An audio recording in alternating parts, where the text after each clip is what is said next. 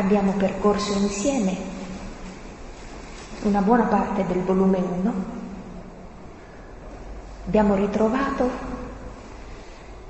i passi che Gesù ha effettuato, il suo operare nell'animo di Luisa, la sua purificazione, l'amore alla croce,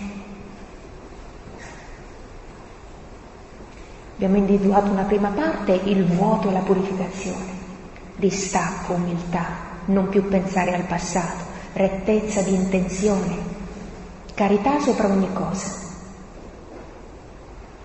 Poi la mortificazione e l'imitazione di Gesù.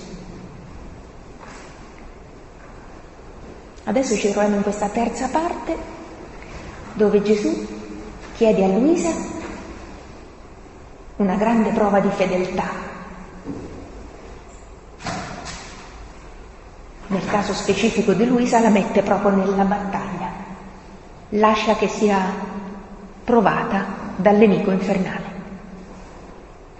Nel caso dell'anima, sa Gesù qual è la prova che ha in serbo per ciascuno di noi, grande, piccina, ma c'è anche per ciascuno di noi una piccola prova.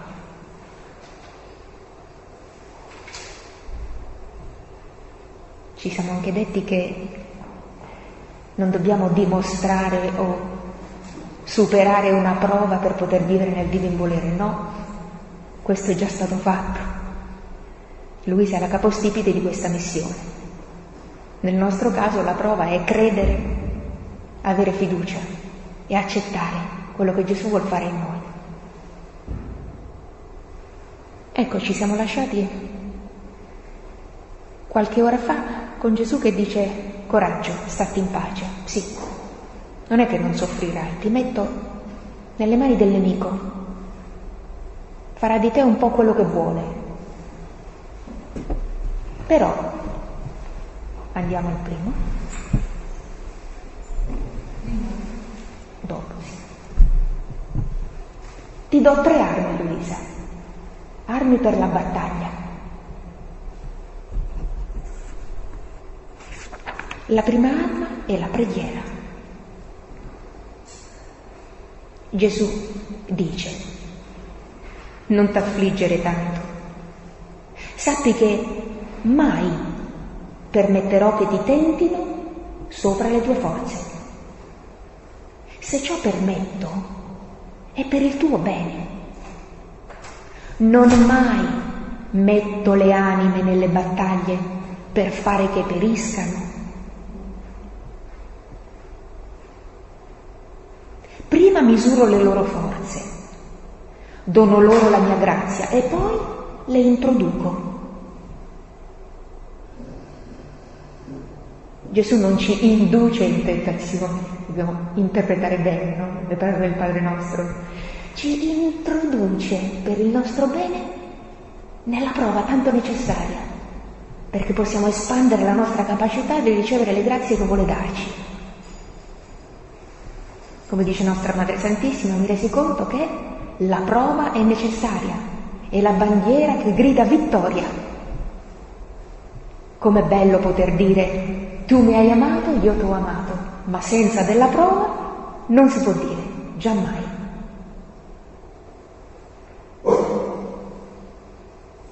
Non mai metto le anime nella battaglia per fare che periscano, prima misuro le loro forze do loro la mia grazia e poi le introduco. E se qualche anima precipita, è perché non si tiene unita a me con la preghiera. Non provando più la sensibilità del mio amore, vanno mendicando amore dalle creature. C'era un'antica canzone che diceva cercando l'amore in tutti i posti sbagliati.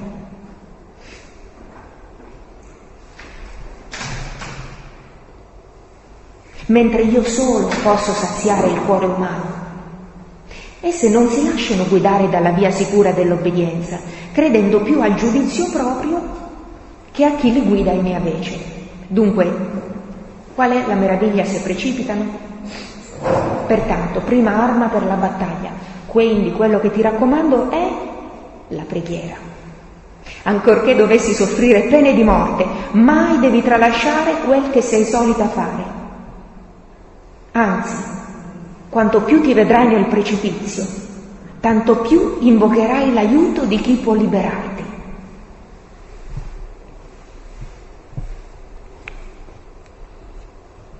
Dice nostra Madre Santissima ai bambini, pregate il Santo Rosario ogni giorno. Quando poi dici no, oggi non ho tempo e domani neanche, beh vabbè dai, e subito si scivola nella tentazione, nell'oblio. Dice ma che cosa mi è successo? Ah, ho abbandonato l'arma.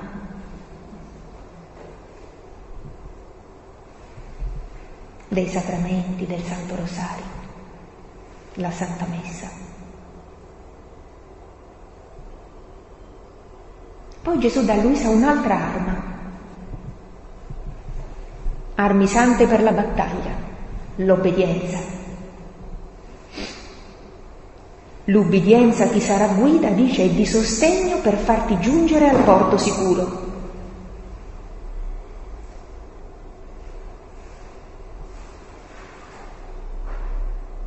Luisa decanta l'ubbidienza nel volume 1 e dice, oh prodigio della santa ubbidienza, tu sei stata tutto per me.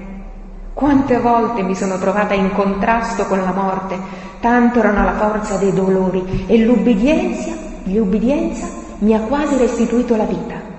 Sia sempre benedetto il Signore, sia tutto a gloria sua.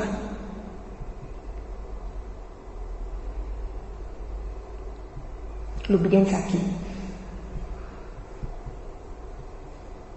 Ai comandamenti, ai precetti della Chiesa, al direttore spirituale, al nostro superiore.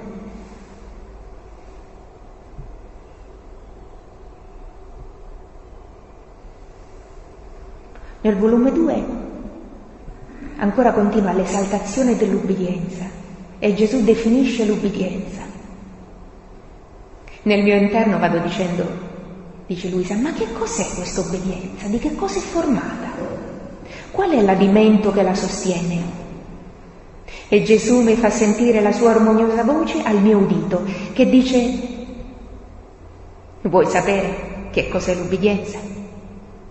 L'ubbidienza è la quintessenza dell'amore. L'ubbidienza è l'amore più fino, più puro, più perfetto, estratto dal sacrificio più doloroso, qual è il distruggere se medesimo per vivere in Dio. L'ubbidienza, essendo nobilissima e divina, non ammette che l'anima nell'anima niente di umano e che non fosse suo. Perciò tutta la sua attenzione è distruggere nell'anima tutto ciò che non appartiene alla sua nobiltà divina. Qual è l'amor proprio? E fatto questo poco si cura che essa sola stenta, fatica a ciò che appartiene all'anima e l'anima la fa tranquillamente riposare. Finalmente l'ubbidienza io so, sono io medesimo. A cosa si riferisce qui? Fatica l'ubbidienza e lascia riposare l'anima. Per esempio, un'ubbidienza pesantissima per lui sarà quella di scrivere, scrivere tutto, tutto quello che passa tra me e il nostro figlio. Quante volte nell'epistolario con eh, Sant'Annibale di Francia e Luisa, appena di peccato ti do l'ubbidienza, non tralasciare nulla. Aveva capito Sant'Annibale quanto era importante. E per Luisa dice dai, una cosa in meno, una cosa di più. Allora in che cosa, in cosa consisteva questa, questo rapporto con l'ubbidienza? Luisa sapeva che doveva scrivere scriveva qualche cosa e poi nella sua mente, colloquiando con l'ubbidienza, diceva, oh, ubbidienza, sei contenta? Dai, ho scritto tutto.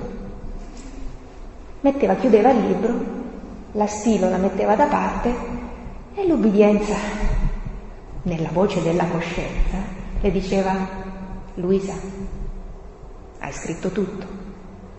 E me dai, ho tralasciato quella cosa, le diceva Gesù. Luisa, hai scritto tutto? Quante volte? L'ubbidienza ci parla.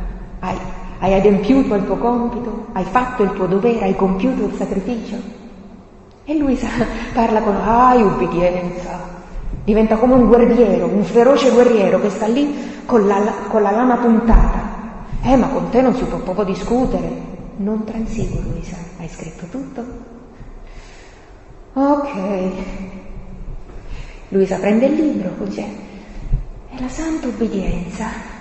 Quel guerriero feroce vuole che non tralasci quest'altra cosa che mi ha detto Gesù. Appena Luisa si mette nella disposizione di adempiere l'ubbidienza, che fa l'ubbidienza? Si trasforma da guerriero armato, da guerriero armato a mamma premurosissima. Che fa? Che si mette a lavorare al posto di Luisa. Appena Luisa decide di fare l'ubbidienza, sembra che l'ubbidienza si metta al posto di Luisa a fare quel lavoro. So, mi ricordo quando uno c'è da fare i compiti a casa, no? da bambini, dice non mi va di fare questo testo libero, sta ricerca, sto compitino, no, non voglio, non voglio, poi la mamma dice no, devi finire i compiti, uffa, va bene, appena prendi la penna e ti metti a fare, oh, ti viene la forza, sembra che hai già finito.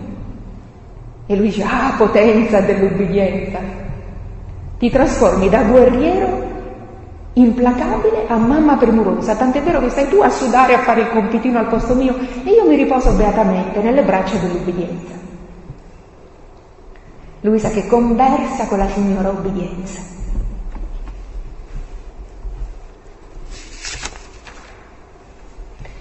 Figlia mia, l'ubbidienza è un muro irremovibile, non cede, non si può scendere a transazioni o negoziare con l'ubbidienza. Ha deciso che devo che si deve compiere, l'ubbidienza, e non ti dà pace fino a che non lo fai. E tale rende l'anima. Non solo, ma per essere irremovibile è necessario essere forte e robusto e l'ubbidienza comunica la fortezza divina. Christus factus est obediens usque ad mortem. Gesù ubbidiente fino alla morte e morte di croce. Che cos'è che fa morire Gesù sulla croce? L'ubbidienza. Figlio, ti voglio morto e morto crocifisso. L'ubbidienza estrema. L'ubbidienza comunica la fortezza divina, in modo che tutte le cose innanzi alla fortezza divina che lei tiene restano deboli, in modo che essa può smuovere tutto e ad essa non la può smuovere nessuno.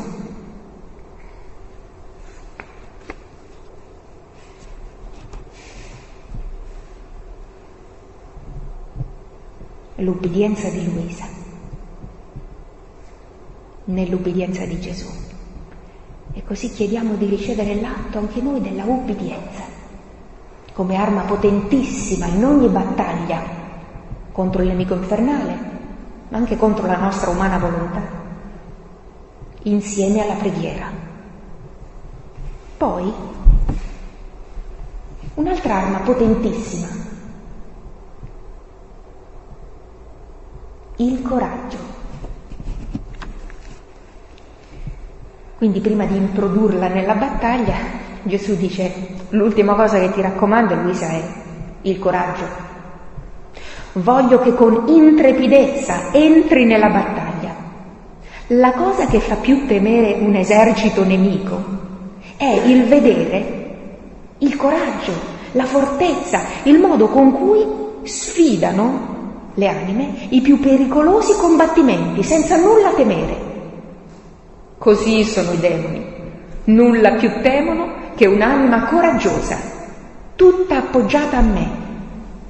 Con animo forte va in mezzo a loro non per essere ferita, ma con risoluzione di ferirli e di sterminarli.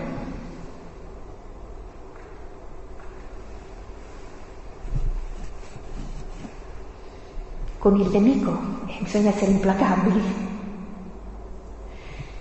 Mi viene in mente quello che facevamo ieri, no? entrando negli atti dell'Antico Testamento. Perché nell'Antico Testamento Dio dice al suo popolo,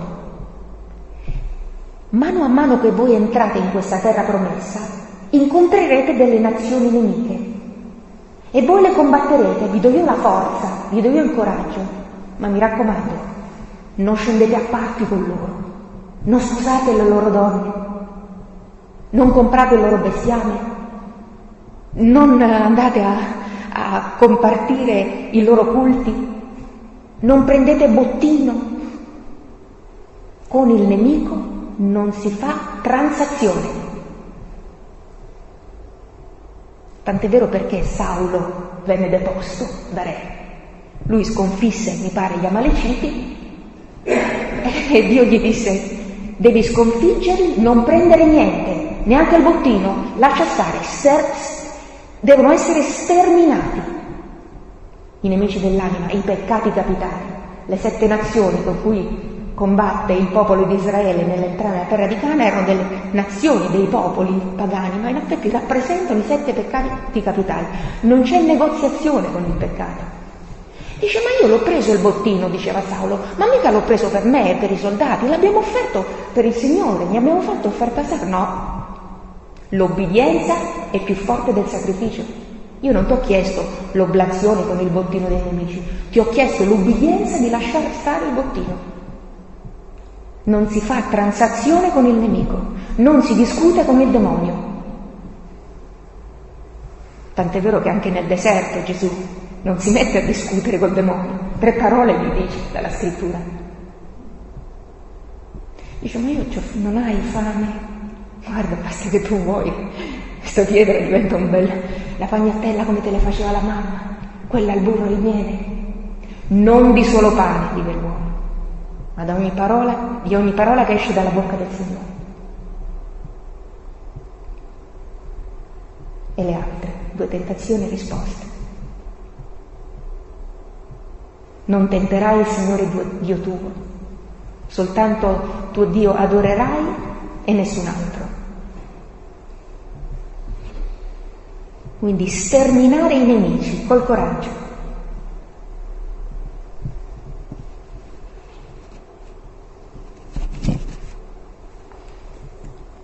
arriva la tanto sospirata ma sicura vittoria sul nemico.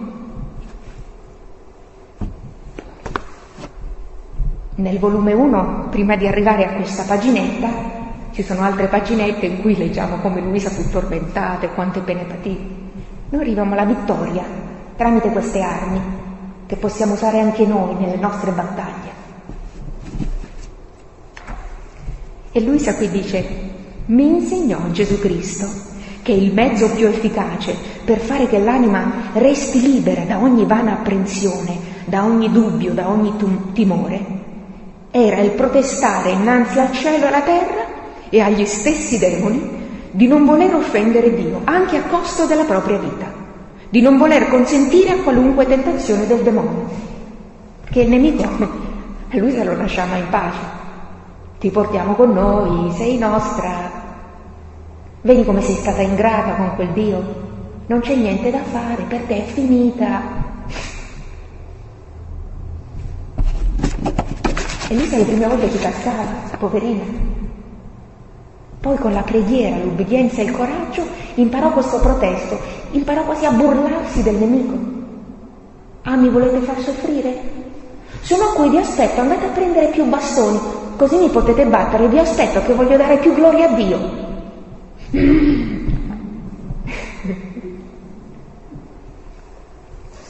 e se ne vanno via.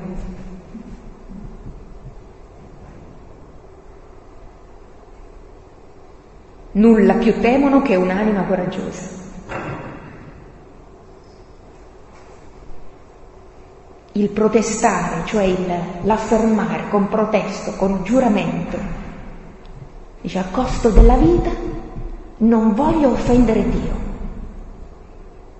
non voglio cadere nella tentazione del demonio. E questo, dice, questo protesto, Luisa aveva imparato questo, questo marchingegno, questo trucco divino, appena l'anima avverte che viene la tentazione, ah, il nemico si avvicina, la vuole mettere nella turbazione, le vuole dire che per lei è finita, che non c'è speranza,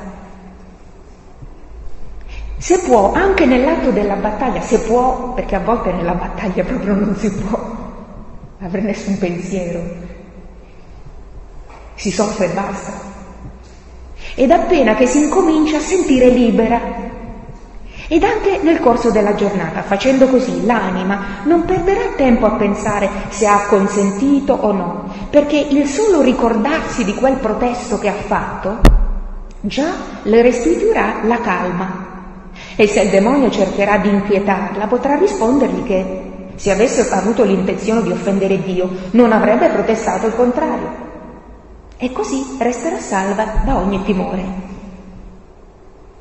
Ora questo protesto che fa Luisa, questo giuramento, quest'atto deciso e confermato di non voler offendere Dio, nel volume 1 qui, eh? non volere offendere Dio, non cedere alla tentazione a costo della vita, non ci sembra l'antenato, il progenitore dell'atto preventivo? L'atto preventivo è la stessa cosa. Ma l'anima non solo non vuole offendere Dio, ma non vuole fare atto umano che, che qualsiasi, anche santo, anche buono, con la sua umana volontà. Allora nel volume 1 Luisa, piccolina, tormentata, diceva protesto di fronte a cielo e terra, gli angeli santi, gli stessi demoni che a costo della vita non voglio offendere Dio, a costo della vita. E poi mentre veniva la battaglia, io l'ho protestato, eh, quindi è inutile che ci provate. E quindi eh, poi, circa 22 anni dopo, 1914, eh, nel volume 14, 1922, viene fuori il protesto. Dice Gesù, ma se io mi faccio scappare tanti atti nella, fatti nella divina volontà, come devo fare? E Gesù dice c'è l'atto preventivo e l'atto attuale. L'atto preventivo è il protesto con cui l'anima al principio del giorno protesta di fronte a cielo e terra, agli stessi demoni, a tutte le creature, che a costo della vita non vuol far atto con la sua umana volontà.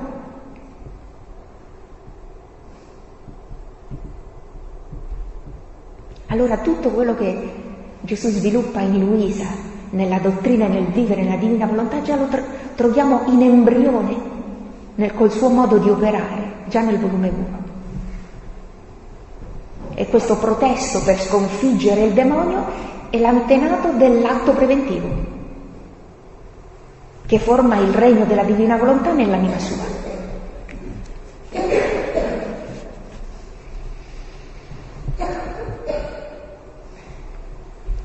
Andiamo alla quarta parte.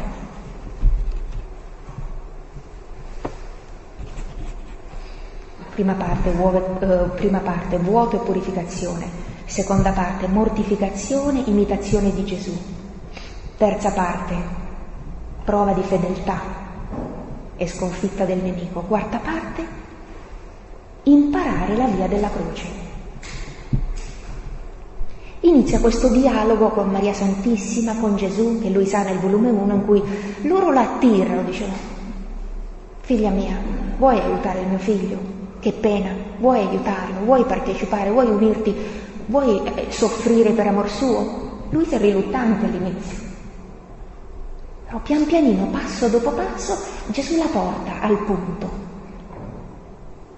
Infatti, il primo punto a cui porta Luisa qual è? è la rassegnazione, l'accettazione della croce. Luisa non trova subito gioia nella croce, però si rassegna. È bello questo perché lo troviamo proprio nello svolgimento del suo dialogo con Gesù e di com'è l'attitudine di Luisa nei confronti della croce. Prima di tutto si rassegna. La Vergine Santissima prese Gesù fra le braccia. Gesù uh, flagellato, crocifisso, deposto dalla croce, si avvicinò a me piangendo e mi disse, nostra Madre Santissima, figlia, vedi come il figlio mio è trattato dagli uomini, le orribili offese che commettono, che non gli danno tregua, guardalo come soffre. Ed io cercavo di guardarlo e lo vedevo tutto sangue, tutto piaghe, quasi trinciato, ridotto ad uno stato mortale. Sentivo tale pena che avrei voluto morire mille e mille volte anziché vedere tanto soffrire il mio Signore. E mi vergognavo delle mie piccole sofferenze. La Santissima Vergine soggiunse, ma sempre piangendo, avvicinati, a baciare le piaghe del figlio mio. Lui ti sceglie come vittima. Se tanti lo offendono, tu con l'offrirti a soffrire ciò che lui soffre, gli darai un ristoro in tanto patire. Non l'accetti tu? E poi Gesù le dice, Deh, dammi un sollievo a tanti acerbi spasmi e una riparazione a tanti torti che mi si fanno. Ed in così dire si tolse la corona, che non pareva corona, ma tutto un pezzo, in modo che neppure una minima particella della testa restava libera, ma tutta veniva trapassata da quelle spine. Mentre si tolse la corona si avvicinò a me e anche lui mi domandò se l'accettavo. Non l'accetti tu? Io mi sentivo tanto annichilita. Provavo tali pene per le offese che si fanno che mi sentivo spezzare il cuore e gli dissi, mi disse, sì, che bello, dammi la croce, dice, Signore, fatemi ciò che vuoi, mi rassegno. La tua fiducia deve essere solo in me, statti rassegnata, che la rassegnazione rende l'anima luminosa, fa stare a posto tutte le passioni.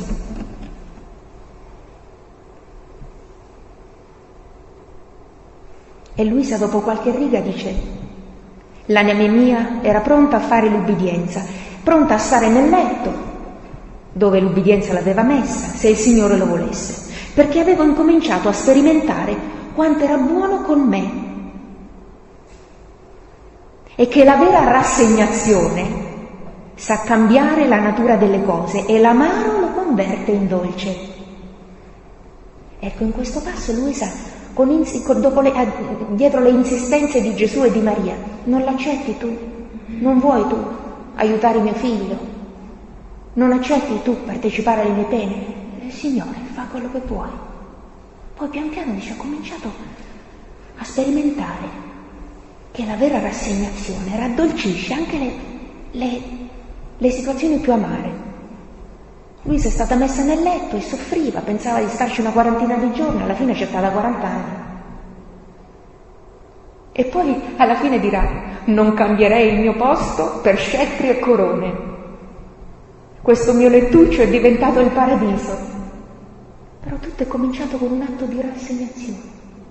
Come dicevamo l'altra volta, no? Anzi, due mesi fa, Cava dei Tirreni, le attitudini dell'umana volontà verso la divina. Prima c'è la ribellione, la prima attitudine positiva è la rassegnazione, poi la conformità, l'abbandono, l'unione, fino al fondersi. Luisa qui già si rassegna. No, per capire che tutti i passi Gesù li ha fatti fare a Luisa come a ciascuno di noi. Andiamo in un'altra successiva attitudine di Luisa verso la croce si è rassegnata, ha cominciato a vedere che questo frutto spinoso, una volta tolte queste spine brutte, alla fine si trova mm, un frutto dolce, un sapore dolce dentro. La rassegnazione sa cambiare la natura delle cose. Imparare la via della croce. Primo, accettazione della croce, rassegnazione. Secondo, abbracciare la croce, abbandono in Gesù.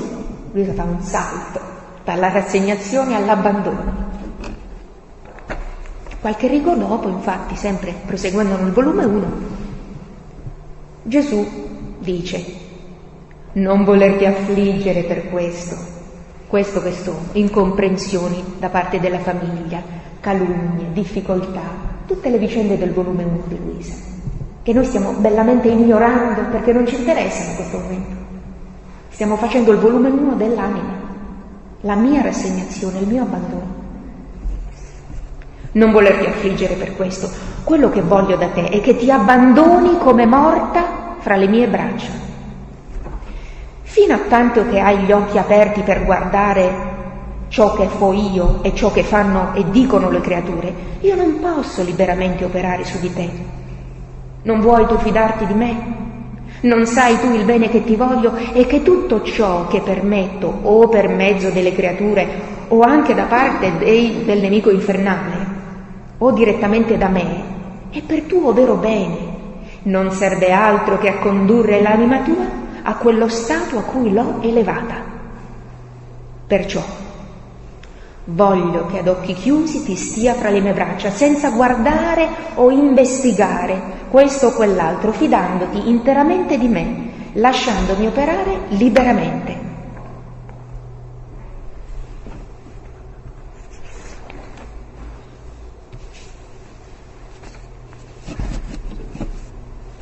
dopo l'accettazione e rassegnazione, dopo l'abbandono, c'è un altro balzo in avanti che Luisa fa nel suo rapporto con la croce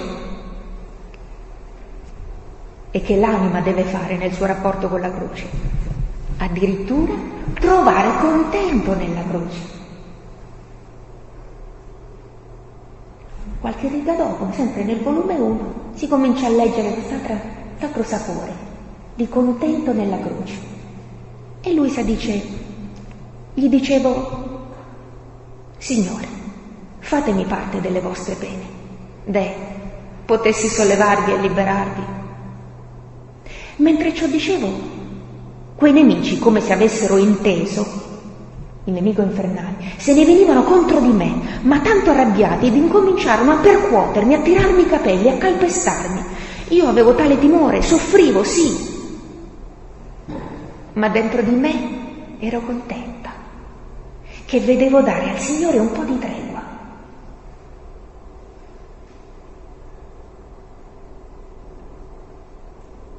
Ancora qualche riga più avanti Gesù dice, non chiedere niente. A volte Luisa, Luisa aveva pure l'ubbidienza di prendere il chinino. Il chinino, dice, eh sì, vabbè, il chinino non mi faceva vomitare, però mi dava una fame. Io mi pigliavo sto pinino, mi veniva una fame. Allora io prendevo un po' di cibo, mi veniva sta fame e, e ne volevo ancora. E dice che devo dire alla famiglia? Datemi qualcosa. Dice, mo hai mangiato, un'altra volta vuoi mangiare. Allora Gesù dice, statti a quello che ti dà la famiglia, ti danno qualche cosa, prendi, non ti danno niente, lascia, statti povera povera, statti povera povera in quel lettuccio. E lui scrive, la parola povera che Gesù mi aveva detto. Non mi farci a dire di chiedere niente, ho fame, c'è un buco allo stomaco. Ed io stessa avevo vergogna di chiedere, pensavo tra me, che dirà la famiglia? Mo ha vomitato e ora vuole mangiare. Se me la danno qualche cosa la prendo. Vorrei fare l'accento di Luisa.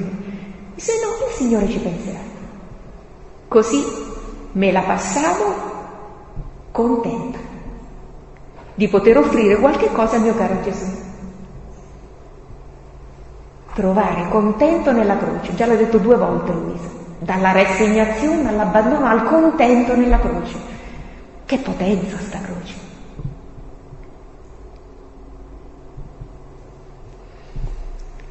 Un altro passo nell'imparare la via della croce è comprendere il valore della croce comprendere quanto vale questa croce. Gesù dice a Luisa, qualche rigo, qualche paginetta dopo, sempre nel volume 1, non sai tu che i più bei regali che posso dare alle anime che, am- che amo sono le croci e le pene? Tu sei bambinella ancora nella via della croce, perciò ti senti troppo debole. Quando ti sarai fatta grande e avrai conosciuto quanto è prezioso il patire, il valore della croce, allora ti sentirai più forte. Perciò appoggiati a me, riposati, che così acquisterai fortezza. Dopo qualche riga Gesù continua e dice, se tu sapessi che bene contiene in sé la croce, come rende l'anima preziosa, che gemma di inestima, inestimabile valore acquista chi ha il bene di possedere le sofferenze. Basta dirti solamente che, venendo sulla terra, non scelsi le ricchezze e i piaceri, ma mi ebbi a care ed intime sorelle la croce, la povertà, le sofferenze, le ignominie.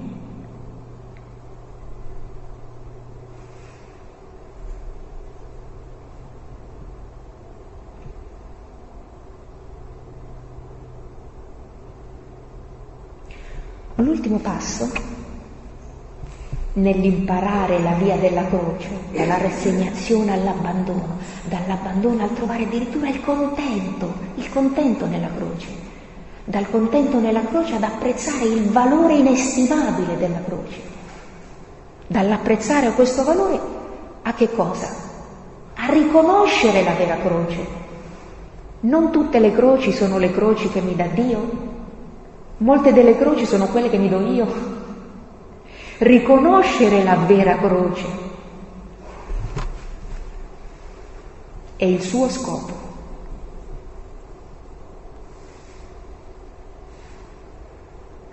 Per esempio, nel volume 11 Gesù scrive, anche la croce tanto di bene può operare per quanto connesso tiene con la mia volontà. Ovviamente lui era stata messa in quel letto, aveva queste obbedienze ed era indiscutibilmente volontà divina che si manifestava attraverso il suo confessore, il suo direttore. A volte può capitare invece che uno come me che non è confinata nel letto si possa andare a cercare delle croci che in realtà Gesù non aveva nessuna intenzione di darmi. Andava a cercare con la mia ottusità, allora tutta quella preziosità, quella bellezza della croce, a quale croce si applica? All'unica croce, il gioco leggero, all'unica croce che Gesù ci vuole dare, non alle croci che noi a volte ci possiamo andare a cercare. Quindi la croce tanto di bene può operare per quanto connesso tiene con la mia volontà. Non solo ciò, la croce santifica, crocifigge parte della persona, ma la mia volontà non risparmia nulla, santifica tutto e crocifigge i pensieri, i desideri, la volontà, gli affetti. La mia volontà, non sapendo fare opere incomplete, non si contenta di tre chiodi, ma di tanti chiodi per quanti atti di mia volontà dispongo sulla creatura. Pertanto l'unica vera croce è la crocifissione della nostra umana volontà nella divina, non è la sofferenza fine a se stessa. È vera croce nella misura in cui è connessa alla mia volontà. Nel volume 15 questo lo spiega ancora meglio.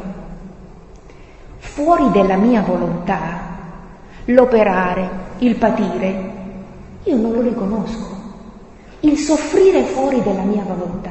Non lo riconosco. Che valore ha? Nessuno. Potrei dire, non ho che darti. Qual è la volontà che ti ha animato nel fare soffrire ciò? Qual è la volontà che ti ha dato quella croce? Qual è la volontà che ti ha fatto patire? La mia o la tua? Da quella fatti ricompensare. Molte volte il fare il bene, il patire, senza che la mia volontà entri in mezzo, possono essere misere schiavitù che degenerano in passioni, mentre solo il mio volere dà il vero dominio, le vere virtù, la vera gloria da trasmutare l'umano in divino. Riconoscere la propria vera croce è il suo scopo. Prenderla dalle mani di Gesù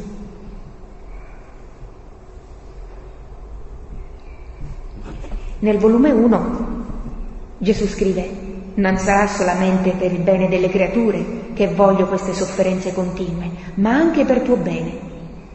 In questo stato di sofferenze, disposto da Gesù, dalla sua volontà, purificherò ben bene l'animo tuo, in modo da disporti a formare con me un mistico sposalizio. La vera croce che dispone Gesù per l'anima la, po- la porta all'unione intima con Gesù al mistico sposalizio. E dopo questo darò l'ultima trasformazione, in modo che diventeremo tutti e due come due ceri, ceri che messi sul fuoco uno si trasforma nell'altro e se ne forma uno solo. Così trasformerò me in te, e se tu vi resterai crocifissa in me, anch'io sono crocifisso in te. Ah, non saresti tu contenta se potessi dire lo sposo crocifisso, ma anche la sposa crocifissa. Ah sì, non c'è nessuna cosa che da lui mi rende dissimile.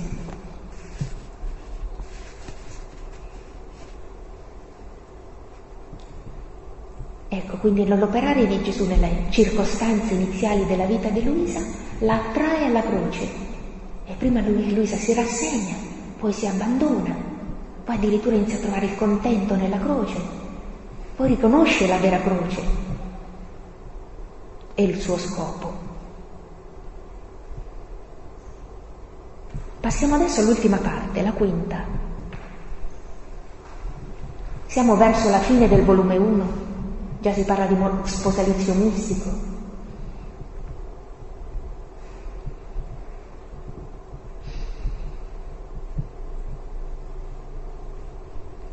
E Luisa parla di quanto si bea nel contemplare Gesù e nell'ascoltare la sua parola.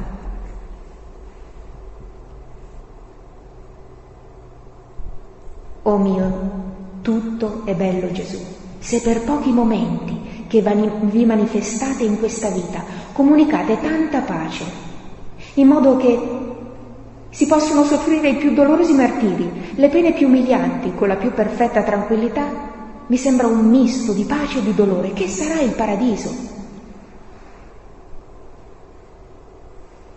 Luisa contempla e descrive Gesù. Ah sì, quel volto santo, mentre così maestoso, poi è anche così amabile. E quell'amabilità vi attira tanto in modo che l'anima non ha il minimo dubbio di essere accolta da Gesù, per quanto brutta e peccatrice si vedesse. Poi lui ascolta la parola di Gesù e si bea nella sua voce. La voce del mio Gesù è potentissima, è operante e già nello stesso atto che parla opera ciò che dice. Oh, quanto è desiderabile questo parlare di Gesù, io per me darei tutto ciò che sta sulla terra, se potessi essere padrona, per avere una sola di queste parole di Gesù.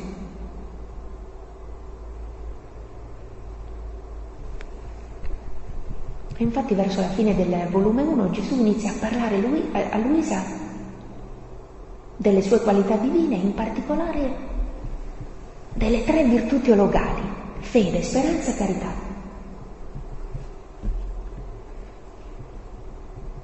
E infatti il passo successivo è che Luisa riceve la sostanza della sua parola, il primo frutto è fede. Gesù cominciò a parlarmi della fede. Ora mi parlava della fede e mi lasciava. Io mi sentivo infondere nell'anima una vita di fede. Gesù diceva poche parole. Nel volume, volume 2 successivo inizia con la fede è Dio.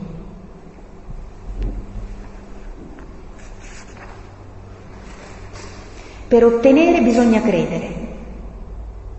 La fede serve di vista all'anima e come luce che la guida alla vita eterna. Dopo che Gesù le parla ben bene della fede,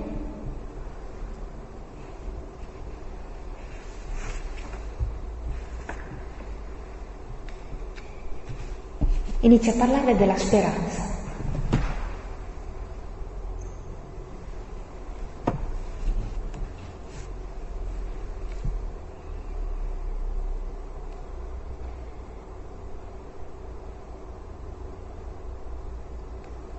Giova all'uomo credere le immense ricchezze della fede se non le spera per sé? Le guarderà, sì, ma con occhio indifferente, perché sa che non sono sue. Ma la speranza somministra le ali alla luce della fede. La fede fa credere, la speranza somministra all'anima una veste di fortezza. Oh, è bello vedere quest'anima investita della bella speranza, tutta appoggiata al suo diletto, tutta diffidente di sé e tutta confidente in Dio. Tale appunto l'anima vestita dalla speranza. Nessuna cosa la può nuocere, né la tribolazione, né la povertà, né tutti i vari accidenti della vita la sgomentano un istante. Dice fra sé, io tutto posso operare, tutto posso sopportare, tutto soffrire, sperando in Gesù che forma l'oggetto di tutte le mie speranze. La speranza rende l'anima quasi onnipotente, invincibile e somministra all'anima la perseveranza finale. Tanto che allora cessa di sperare e di perseverare quando ha preso possesso del regno dei cieli. E il volume 1 verso la fine si inizia questo tripudio delle tre virtù teologali, la fede, la speranza e la carità. Dice la, la, la fede fa credere, la fede è Dio, la speranza è il nutrimento della fede, la carità è la sostanza di entrambe. La carità è la sostanza di fede e speranza.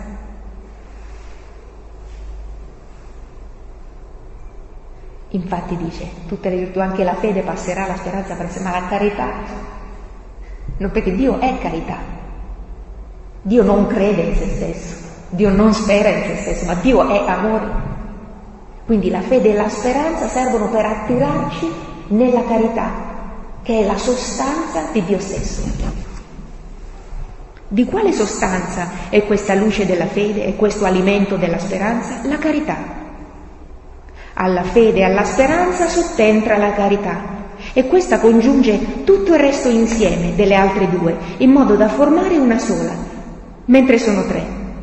Eccoti, o sposa mia, dice Gesù, adombrata nelle tre virtù teologali, la Trinità delle divine persone. Altissima teologia delle tre virtù teologali, no? In Luisa Cassento aveva la seconda o la terza elementare. Poi proseguì, se la fede fa credere, la speranza fa sperare, la carità fa amare. La carità è la sostanza di questa luce, di questo alimento, della fede e della speranza. È come quell'unguento dolcissimo e odorosissimo che penetrando dappertutto lenisce e raddolcisce le pene della vita. La carità rende dolce il patire e fa giungere anche a desiderarlo. L'anima che possiede la carità spande odore dappertutto. Le sue opere, fatte tutte per amore, danno un odore graditissimo. E qual è questo odore? È l'odore di Dio stesso. L'odore gradito a Dio dei sacrifici dell'Antico Testamento non era il grasso bruciato degli animali, ma l'odore gradito a Dio era lo spirito di carità, di sacrificio con cui veniva fatta quell'offerta farai questa offerta, così va, il suo odore è gradito a Dio. Quante volte lo si legge nell'Antico Testamento? È l'odore della carità.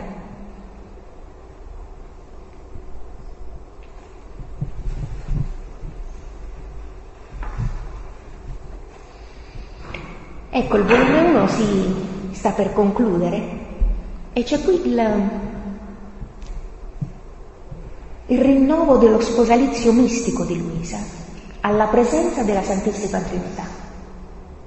E qui si fa coincidere, questo è il momento in cui viene posto il germe, il seme, il dono della divina volontà come vita della creatura. La Trinità Santissima parla a Luisa e dice, non temere, fatti coraggio. Siamo venuti per confermarti per nostra e prendere possesso del tuo cuore. Mentre così diceva questa voce, vidi che la Santissima Trinità scese nel mio cuore e si impossessarono e vi formarono la loro sede perenne. Chi può dire il cambiamento che successe in me? Mi sentivo divinizzata. Non più io vivevo, ma loro vivevano in me. Facendo eco a San Paolo, ma non per il regime della grazia, ma il pregino della vita divina operante in Luisa. A me pareva che il mio corpo fosse come un'abitazione e che dentro abitasse Dio vivente, perché io mi sentivo la presenza reale, sensibilmente, nel mio interno di Dio.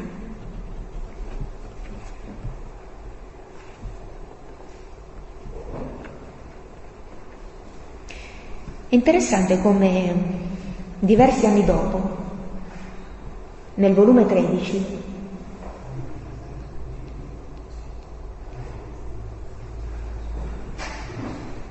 Gesù parla a Luisa di questo momento qui.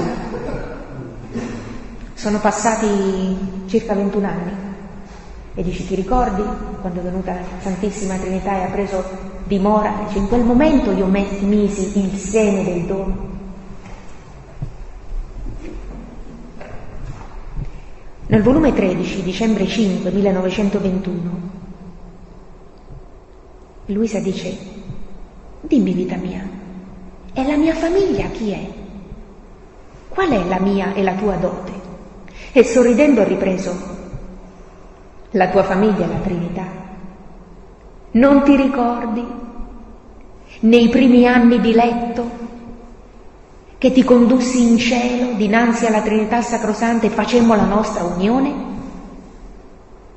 Ed essa ti dotò di tali doni che tu stessa non hai conosciuto ancora. Quindi la divina volontà come vita nella creatura si dispiega, si fa operante nella misura in cui noi la conosciamo.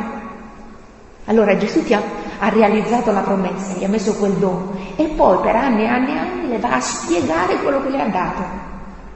E nella misura in cui Luisa riceve queste conoscenze, le attualizza come i suoi atti, si estende, si forma la vita divina nell'anima sua la vita della divina volontà.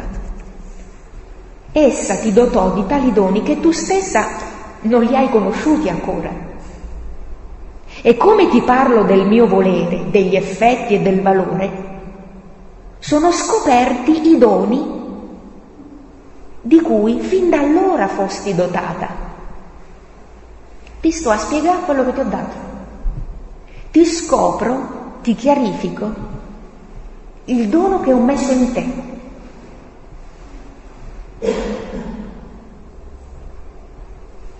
Noi, riferendosi alla Santissima Trinità, prendemo, ti ricordi Luisa?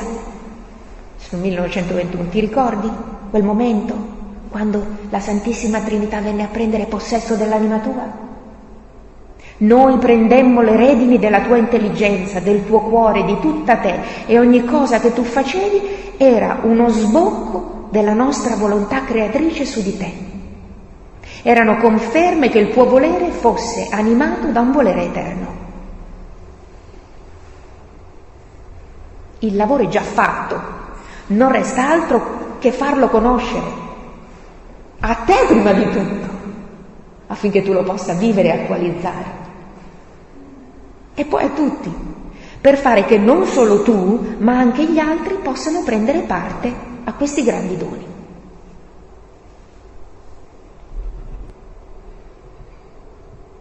E questo è un riepilogo dei passi che Gesù fa nell'anima. Vuoto e purificazione, mortificazione, imitazione di Cristo, la prova e la fortezza, imparando la via della croce, luce e unione con Gesù.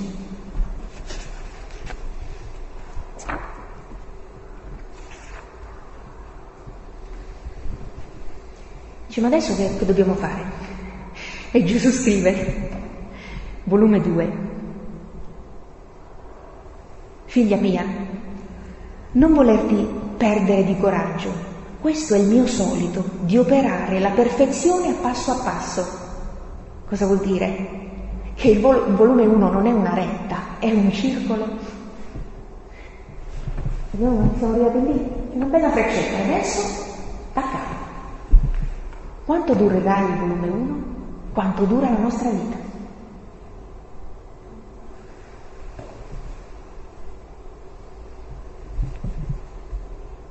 Figlia mia, dice noi abbiamo fatto, dice, ma io veramente quante cose, quante cose,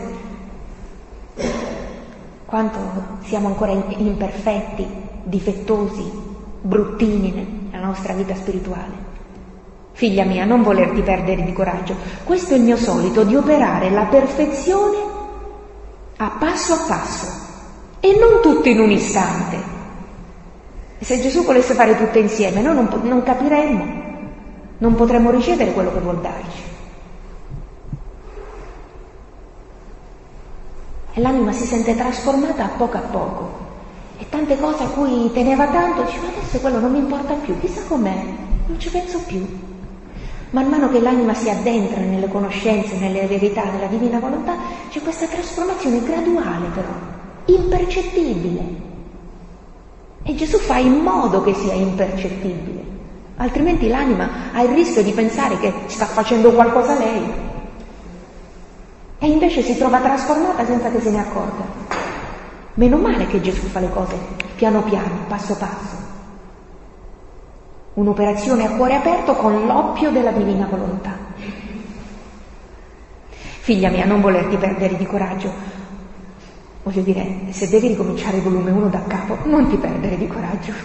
Questo è il mio solito, di operare la perfezione a passo a passo e non tutto in un istante, affinché l'anima, vedendosi sempre in qualche cosa manchevole, si spinga, faccia tutti gli sforzi per raggiungere ciò che le manca, al fine di più piacermi e maggiormente santificarsi.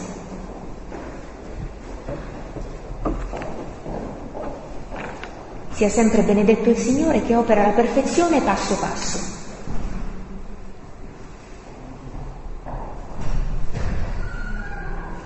Ecco, questo è il ciclo del volume 1 dell'anima che per ora abbiamo fatto. Poi Chissà quante volte Gesù lo vorrà ripetere dentro di noi, questo ciclo di purificazione. Restando pochi minuti, possiamo ripercorrere, questa è una cosa che non ci impegna molto nelle facoltà, eh, diciamo, dell'anima, che sono tanto ripiene da tante verità, da tante cose che abbiamo ricevuto.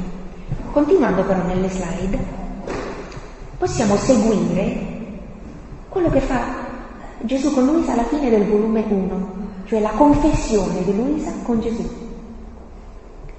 E i passi che succedono nella confessione, dal dolore per i peccati. Ecco, prima ancora del dolore dei peccati. L'ultimo passo è il matrimonio sposalizio della croce. Allora Luisa desidera tanto la croce e Gesù le fa una esaltazione della croce.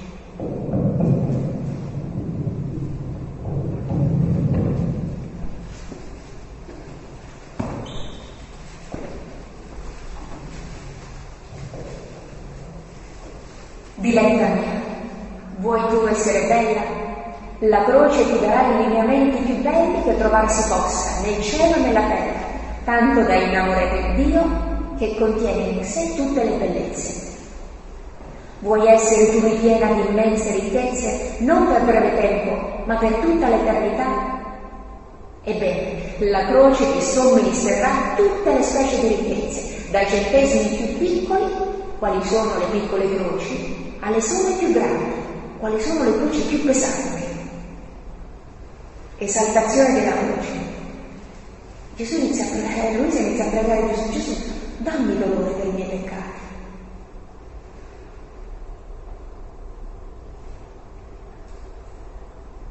Questo può servire di campagna per noi, per prepararci alla confessione.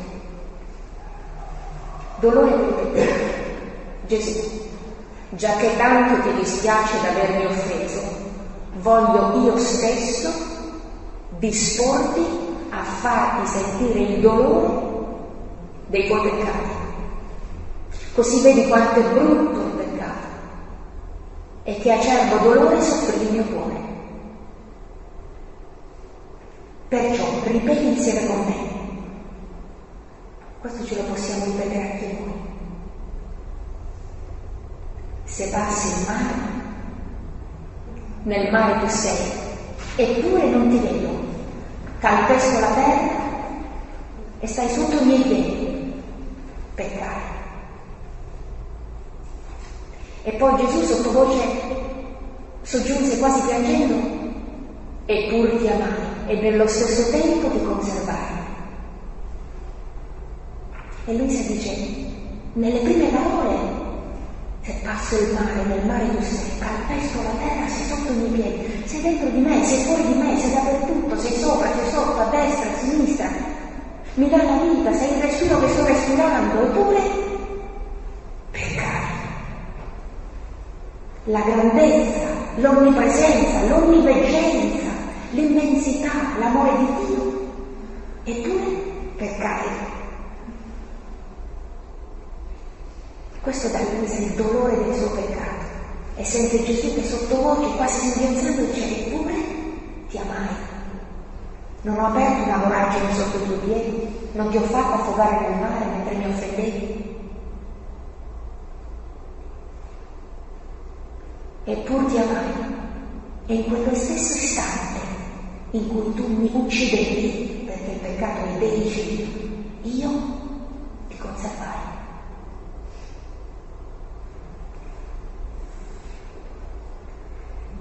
Se passo il mare nel mare sei, eppure non ti vedo. Calpesto la terra, sei sotto i miei piedi, peccare. E Gesù piangendo neppure ti amai. E nello stesso tempo, in quello stesso istante in cui tu mi infliggevi la morte, io ti conservai.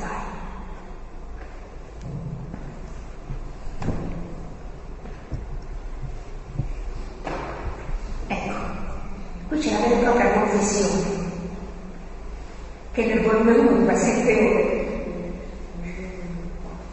Gesù scrive, dice, questa volta voglio farti io stesso l'ufficio di confessore. Questo ovviamente è esperienza di vita mistica per tutti. Per noi non c'è sostituto al ministro di Dio nel sacramento della confessione, questo è chiarissimo, precisazione inutile, ma non si sa quando.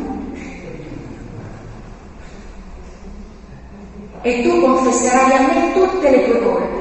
E nell'atto che ciò farai ti farò comprendere uno per uno i dolori che ha dato al cuore mio nell'offendere, a ciò che comprendendo tu quanto può una creatura, che cosa è il peccato, prendi risoluzione che piuttosto morire che offendere.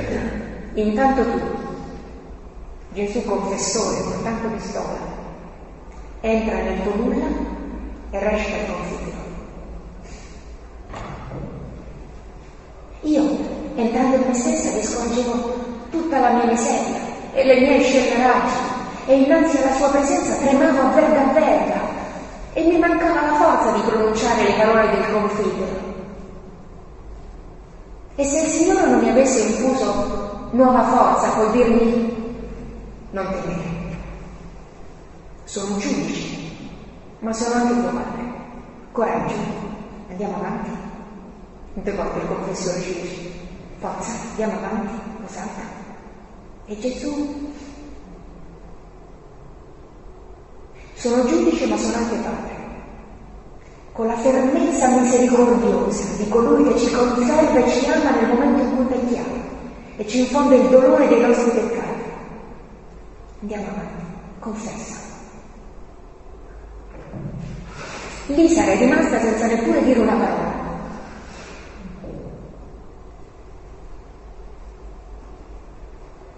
dopo la confessione, prima ancora dell'assoluzione.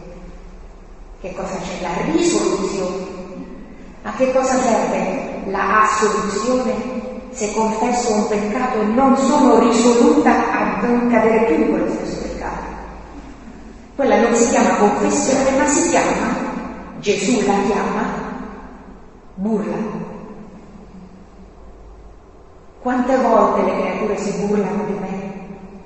quando lui è stato vestito da pazzo, facendomi umiliare e burlare in quel modo, io riparavo tutte le volte che la creatura si burla di me. Quante confessioni infangate con nessuna risoluzione di non più peccare, quanti sacramenti infangati da parte di chi li riceve e di chi li amministra. Povero Gesù. Grande sono è stato il male che ho fatto verso di voi, scrive Luisa. Queste potenze mie, intelletto, memoria, volontà, come abbiamo visto in Adamo, tutte concorrono nel. Queste potenze mie, questi sensi del mio corpo, l'udito, la vista, il gusto, tutto concorre nel peccato. Adamo ascoltò, guardò, gustò, Dovevano essere tante lingue per lodarmi, Ah, invece sono state come tante vipere velenose che vi mordevano, cercavano anche di uccidervi. Ma, Padre Santo, perdonami, non vogliate di scacciarmi per il gran torto che ti ho fatto peccare.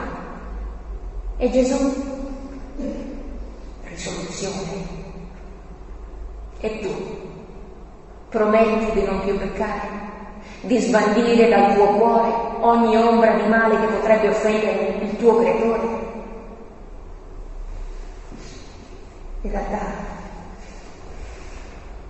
non, Gesù non ci chiede di promettere di non peccare, ci chiede di promettere di non voler peccare. A volte quante volte cadiamo nel peccato anche involontario, nella mancanza involontaria. Prometti di non voler peccare e Dio, sì, sì, con tutto il cuore te lo prometto, voglio piuttosto mille volte morire che mai più peccare, mai più, mai più. Quanto è potente il sacramento della confessione quando l'anima esalta la croce che mi ha salvato, che mi inonda di misericordia, si duole per i propri peccati, li confessa senza pietà, senza nascondere, dice il Santo Padre, chiamandoli per nome e cognome. Ho fatto questo, tot, tot e tot, non raddolcendoli e incantandoli di tante parole, non confessandogli i peccati degli altri, ma i peccati propri. Non lo so, cioè, un po' viene la tentazione di confessare i peccati altrui, non so se è il passo sbagliato non i peccati tuoi, non i peccati di tua zia. Stai ancora.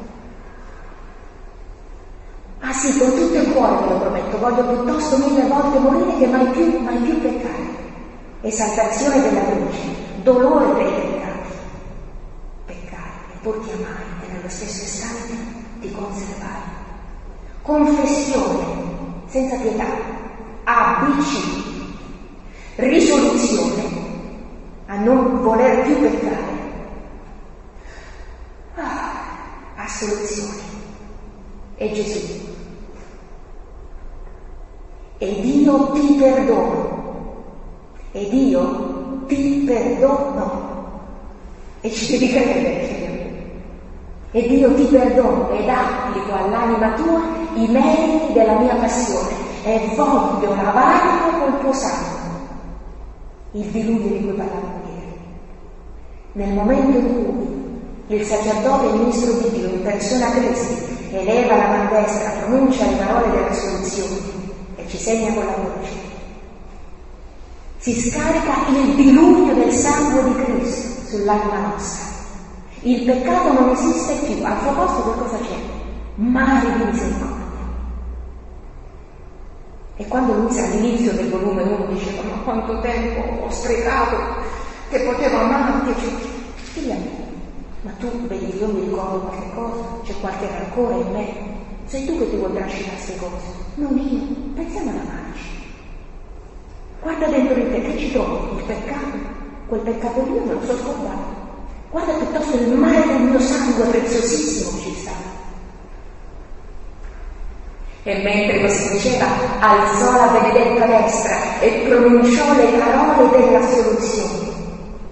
Quanto è bello vedere Gesù nel ministro, sentire Gesù nel ministro, che sia balbuziente o meno, che sia giovane o vecchio, che sia erudito o ignorante, che sia simpatico o antipatico, è Cristo nel santissimo sacrificio della Santa Messa, è Cristo che ci dà la soluzione. Che meraviglia. E mentre così diceva, alzò la benedetta destra e pronunciò le parole della soluzione, precise precise, alle parole che dice suoi come i sacerdoti, non sopra lui. Alle parole e Dio ti assolve, il sacerdote dice Gesù ti assolve, io ti assolvo perché chi sta parlando Gesù?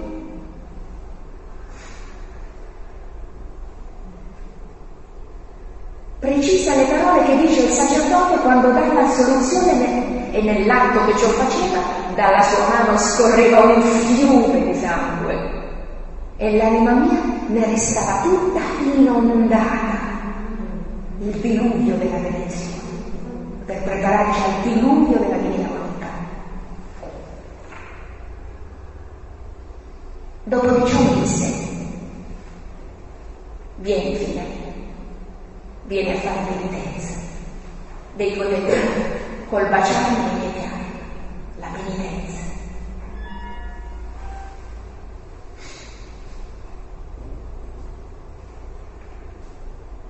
Figlia mia, non ne posso più. Tocca le mie piaghe inasprite per l'addolcirmi. Scocca il tuo bacio d'amore su di essi affinché il tuo amore mi mimiti lo spasimo che sento. Questo mio stato così doloroso è il vero ritratto in cui si trova la mia volontà in mezzo alle creature. Sta in mezzo a loro, ma come divisa, perché facendo la loro volontà, non la mia, resta slogata ed impiagata dalle creature. Perciò unisci la tua volontà alla mia e dammi un ristoro al mio slogamento. Finalmente, prima di lasciarmi, mi ha detto, figlia mia, mi hai raddolcito. Mi sento le ossa al posto, ma sai tu chi può raddolcirmi e riunire le ossa slogate, chi fa regnare in sé la mia volontà. Gesù altre volte invita Luisa a ricevere la soluzione sacramentale nella divina volontà. E questo è quello che deve fare l'anima, non solo per ricevere la soluzione dei suoi peccati personali, ma nella divina volontà, penetrando nel cuore di ogni creatura, impetrando la contrizione, il dolore dei peccati, la conversione, la metanoia, la redenzione di ogni creatura. Gesù dice a Luisa, gira per ogni cuore di creatura e in ogni cuore di creatura grida dolore, perdono, dolore, perdono. Quindi continuiamo a girare nella divina volontà anche quando siamo chiusi nel confessio di che sebbene confessiamo e riceviamo soluzione per il nostro peccato individuale, nulla individuale, tutto si ripercuote nella Chiesa. Il mio peccato uccide Gesù, ma fa male a tutta la comunione del corpo mistico di Cristo. Pertanto, ricevendo la soluzione nella divina volontà, si impetra il dolore dei peccati, la contrizione, la confessione, la redenzione, la conversione per tutte le creature. Anche la confessione per l'anima che vive nella divina volontà non è più un fatto privato e personale, è atto universale atto universale. Ah. Dopo la, dopo la soluzione e la penitenza, il settimo passo che troviamo in questa confessione che si svolge alla fine del volume 1 con Gesù da confessore, Gesù dice No, è Luisa che dice, c'è un tanto, Luisa. Tutta tremando mi alzai e baciai le sue sacratissime piaghe e poi mi disse, figlia mia, ora che hai ricevuto questa soluzione, fatto penitenza, stai più attenta che oggi ti do la grazia di... Qual è la grazia che ricevete Luisa?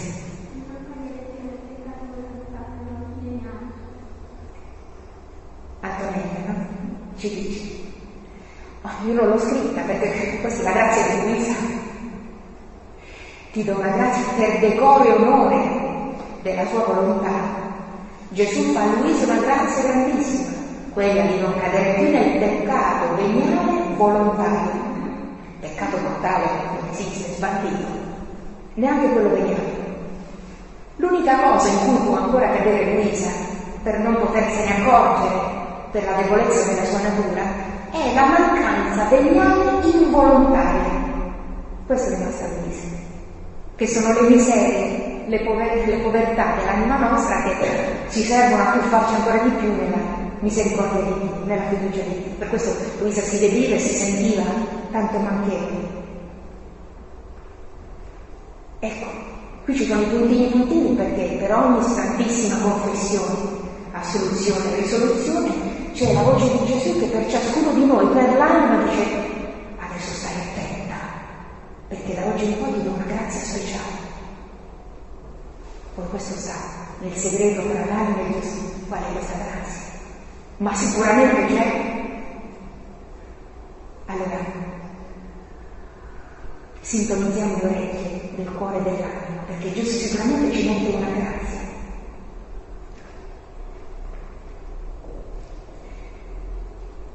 Sii più attenta, questo è quello che può dire il mondo, per esempio, e segui il volere del tuo Gesù, perché l'attenzione ti farà conoscere dove stai e cosa fai.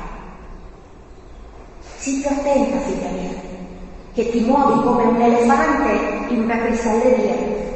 Stai nel palazzo del re. La mia volontà ti fa conoscere dove stai. Stai nel palazzo del re. Non guardare fuori al balcone. Guarda dentro, aspettati che il re venga fuori, da un momento all'altro da qualche appartamento. Guarda che ci sono i tesori del re tutto a tua disposizione. Cammina in punta di piedi, parla sottovoce, stai attento.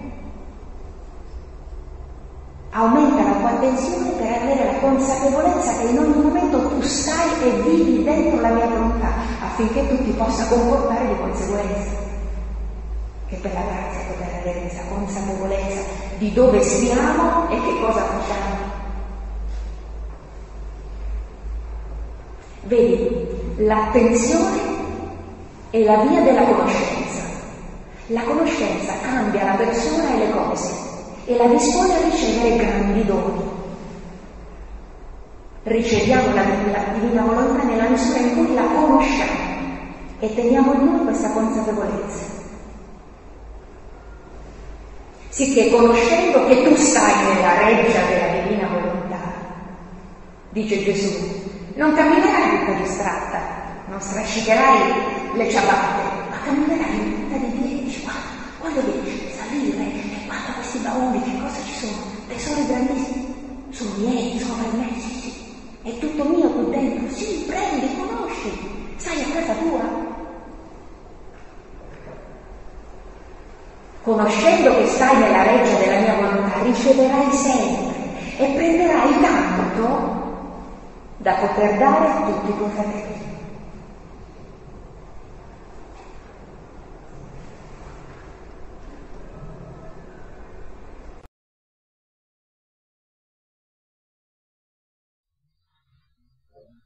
Devo confessare, mi viene il brivido quando, quelle rarissime volte che esco di casa, eh, dice, ah, c'è questo incontro eh, per, fai, puoi fare una relazione. Leggevo ieri nel volume 12 il sole che abbiamo oggi qui, che splende, dice guardate me, io sono il perfetto relatore della... Oh, ecco. Sono io il relatore, guardate me, con un atto solo do luce a tutto. Fecondo, abbellisco, riscaldo, do gioia. Un atto solo, atto di luce sui buoni, sui cattivi, non mi fermo mai, qualunque cosa succeda, io continuo a splendere. Anche se sono velato dalle nuvole, continuo il mio ufficio, sono il perfetto relatore del vostro creatore. Ah, quindi quando si cerca un relatore andiamo dal sole. Noi invece che facciamo insieme? ci riuniamo insieme, siamo più di due, in nome di Gesù, eh, come piccoli bambini, come piccole anime, come piccoli, come nulla, nulla. Dice, dice Gesù, noi nelle opere ad extra, la Santissima Trinità esce fuori da se stessa, eh, la Santissima Trinità che crea, abbiamo bisogno di spazio, di terra abbiamo bisogno di terra. Allora noi siamo il pugnetto di terra che la divinità vuole usare per fare opere divine. Allora la mia natura è terra, i nostri atti umani sono terra, lo stare seduti, il nostro, tutto quello che facciamo, piccola terra, però nelle mani del, dell'agricoltore divino eh, serve per piantare il seme divino, per fare opere divine, per moltiplicare vita divina. Quindi quando Dio opera fuori da se stesso, c'è sempre una trasmissione di cielo e terra, umano e divino, materia e spirito, corpo e anima. Pertanto la nostra umana volontà è terra, la nostra natura è terra. Però questa terra vuole essere non solo illuminata dal sole, ma penetra, dice, il sole quando sorge inizia a, a fare toc toc sulla terra, sulla lavanda, sui nostri occhi, ci svegliamo e, e, e vuole penetrare, trasformare in luce. Quindi noi stiamo parlando di una divinità che esce fuori da se stessa per mettere, per ritrovare se stessa nel suo creato. E lo fa attraverso che cosa? L'umana volontà. Come dice San Paolo, tutto il creato duole, si lamenta per, di doglie di parto, no? Perché non può compiere lo scopo per cui è stato creato. Il sole non ha una ragione, non ha una voce. La creazione è, è veli di tante qualità divine. Ma dov'è la libera volontà intelligente, la cosa più bella che Dio ha creato? L'ha messa in noi. E dice, leggevo l'altro giorno, eh, la volontà umana da sola è pericolosa, è come mettere una Ferrari in mano a un bambino. Infatti, eh, ci, ci, va a sbattere. È pericolosa ed è anche eh, inutile o dannosa, mentre se la metti nelle mie mani, se mi dai quel pugnetto di terra della tua volontà, io terra non ne ho, dice Dio Padre. Noi terra, dice, non ne teniamo, abbiamo bisogno della terra tua. Mi dai il nulla della tua terra? Allora, tanti secoli e millenni di spiritualità, di sforzi dell'umana volontà, che attraverso le ispirazioni della grazia, attraverso gli insegnamenti della Chiesa, si è sforzata, si sforza di fare il bene e, e si mette i paletti e crea le regole e crea i gruppi e crea i ministeri, dice noi siamo quelli che fanno, noi siamo quest'ordine, noi facciamo quest'altra cosa. La volontà umana mi fa tenerezza. Nel male è brutta proprio, è pericolosa, ma anche nel bene fa tenerezza perché non ci riesce, dove va? È come, è come mettere un, un motorino su un'autostrada, sull'autostrada del sole. Dove va? Non può arrivare dovunque, si sforza, ma non riesce. Finisce la miscela, si brucia il motore. E allora il vivere nella divina volontà, che è un decreto divino, che è il dono dei doni che stiamo celebrando oggi, in questa grande festa, dove tutto il creato celebra insieme con noi, è proprio uh, il compimento di tutta la creazione. È proprio dire, adesso, umana volontà, tu ti sei sforzata tanto, eh, cerchi di essere obbediente, ti ho illuminato con la luce della grazia, ma io non ho finito qui la mia opera. Adesso ti devo ridare quel dono che, ahimè, nostro dolcissimo, carissimo, santo padre Adamo, poverino, era un po' imbranato. Per questo è stato perdonato. Un solo peccato fece Adamo, solo, non peccò più. Quanto dice la scrittura? Disse 900 anni, 980, non importa adesso gli anni. Non peccò più. Quanto pianse, quanto pianse. Pianse perché aveva perso questo dono di questa volontà divina, onnipotente, infinita, eterna, che come si mette in moto mette in moto tutta la divinità, tutte le qualità divine. Questa volontà divina per Adamo non era comando, non era disposizione, ma era vita sua. Certo quando si parla di volontà divina, no? Dice, ma che c'è da dire della divina volontà? I comandamenti li conosciamo, le disposizioni della Chiesa le conosciamo, dobbiamo obbedire, dobbiamo discernere, No, qui non si parla di ubbidienza, di discernimento. Queste cose sono già ben conosciute nella Chiesa e guai a noi se ce ne discostiamo. Ma adesso la divina volontà vuole mettere se stessa, non come l'effetto, non come io voglio questo da te, ti aiuto con i raggi della mia grazia, ma ti do il vero motore che opera in me, in Dio, e lo metto in te, nel nulla dell'umana volontà. In cielo e in terra non esiste un miracolo più grande. È impossibile. Il tutto che opera nel nulla. Una volontà divina che è il motore degli atti divini e quindi ha le qualità, le caratteristiche della natura divina. Quando Dio opera, il suo atto è onnipotente, è onniveggente, è eterno. Cioè, possiamo dire Dio ha creato tante cose, magari ha, cre- ha creato quell'albero, no? L'albero passerà, magari si seccherà un giorno, ma l'atto di Dio, l'atto di Dio, non l'opera, l'atto, quindi la vita, la sua decisione, il suo fiat, di dire fiat albero, è eterno. Pertanto, per, nella divina volontà non parliamo di opere, di disposizioni, quelle stanno al di fuori, le vediamo, sono belle, le abbiamo tutti i santi, ci hanno insegnato, San Francesco ci ha chiamato a trovare quel rapporto di sorellanza, di fratellanza con tutte le cose create. Ma adesso, perché questo è il decreto divino, perché questo è il tempo stabilito da Dio, perché la creazione deve essere compiuta, Dio vuole che la creatura entri dentro la sua volontà e opera e operi come opera in se stesso. Cioè in chi? In Cristo Gesù, che è la parola incarnata. La divina volontà non operava in Gesù nel regime della grazia, cos'è Gesù era ispirato? La grazia è un effetto della sua volontà, come i raggi sono un effetto del sole. La divina volontà, che è il motore che genera gli atti di Dio, che sono sempre in atto, è il centro della vita di Gesù, vero uomo e vero Dio. In lui opera la divinità.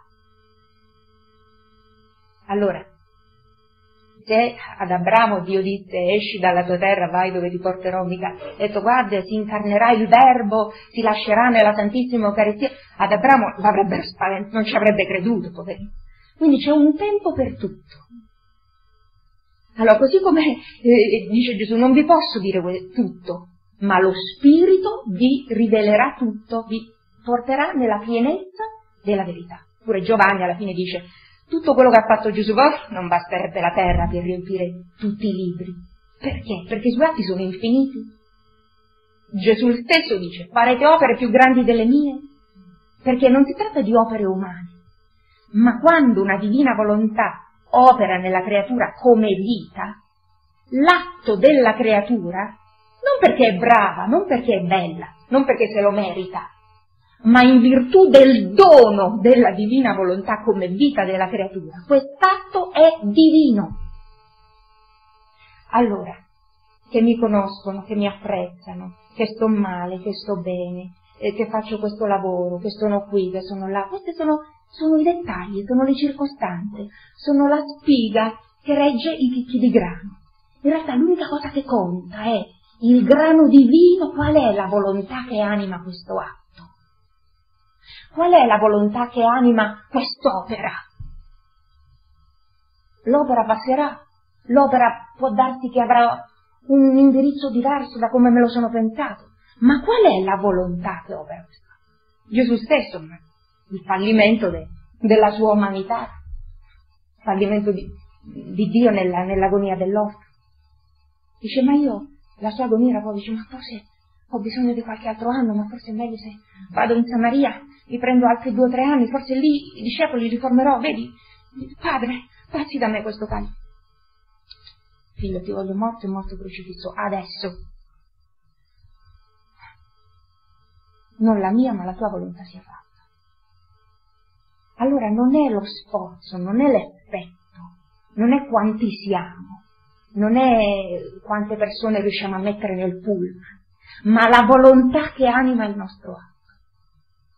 E quindi vivere nella divina volontà comincia dal chiamare questa divina volontà ad operare in noi come vita, cioè come opera in Gesù. Mi ha colpito, eh, venendo in questo posto meraviglioso, questo mm, imprint, questo marchio per terra, sulla, la, la tovaglia dell'altare, JHS, eh, JHS, Jesus hominum salvator, Gesù salvatore degli uomini. C'è il marchio. Vai lì, cammini, eh, nel patio, ma c'è il marchio di Gesù. Vai in cappello, marchio di Gesù. C'è. Tutto è marchiato. Allora, tutti i nostri atti devono avere il marchio come, come l'ostia. Ha il marchio, l'ostia quella, eh, un po' di farina e eh, di acqua, con il marchio, con la consacrazione voluta dalla divina volontà diventa corpo, sangue, anima e divinità. Allora i nostri atti come ostie, come, come terra, come farina, devono essere consacrati. E chi lo può fare questo miracolo? Lo può fare solo la volontà divina. Allora questo ci introduce sul fatto che è bello che questa giornata insieme si chiama festa del dono, perché anche nelle cose sante, nelle spiritualità, si ha sempre l'impressione che noi si debba conquistare qualcosa, si debba meritare qualcosa. E, e dice Gesù, il dono è dono, se no è mercede. Se tu avessi fatto qualche cosa per meritartelo, non sarebbe il dono, sarebbe ricompensa. Invece è proprio fondamentale che la divina volontà, vivere nella divina volontà e ricevere la divina volontà come vita e questo è un dono, è gratuito. Non, non c'è teologia morale, speculativa, che possa comprendere o arrivare a capire come opera la divina volontà in Dio. O Lui ce lo rivela, o Lui apre se stesso, dice vieni a vedere, vieni a vedere la maestà suprema, mettere fuori là tutta la macchina dell'universo. Vieni a vedere, entra nella mia umanità, entra nel, vieni a vedere come in ogni atto che facevo, anche nel sonno, anche nel respiro. Ma che fai Gesù? Te ne vai sulla montagna a pregare? I, i, i Vangeli ci dicono delle scenette, sono come dei fumetti, bellissimo. Poi magari ci sono rivelazioni private per gli assetati come Maria Valtorta, oh, lì magari si legge eh, molto più nel dettaglio, ma i Vangeli sono la rivelazione pubblica con cui Gesù ci, di, ci dice io vi do le coordinate per la salvezza. C'è il regno dei cieli, vi dico come vi dovete condurre per entrare in paradiso. Ma questa opera della redenzione, rede o redes, ritornare, restaurare, non è compiuta. Dobbiamo ritornare ai tempi di Adamo innocente, quando in lui la divina volontà non operava come comando. Lui non si, non si sentiva mh, mm, eh, sotto il regime del comando. Una sola prova ebbe e la perse. Ma lui non aveva bisogno neanche della fede, noi sì, ma lui avendo la divina volontà operante come vita in creazione, aveva i doni preternaturali della eh, scienza infusa, della immortalità, della integrità, ehm, della salute, non portava gli occhiali, non si stancava, non ci aveva caldo, non ci aveva freddo, non si ammalava. Immaginiamo nostro padre Adamo come si sentì quando lui non doveva fare altro lì nel giardino che guardarsi intorno.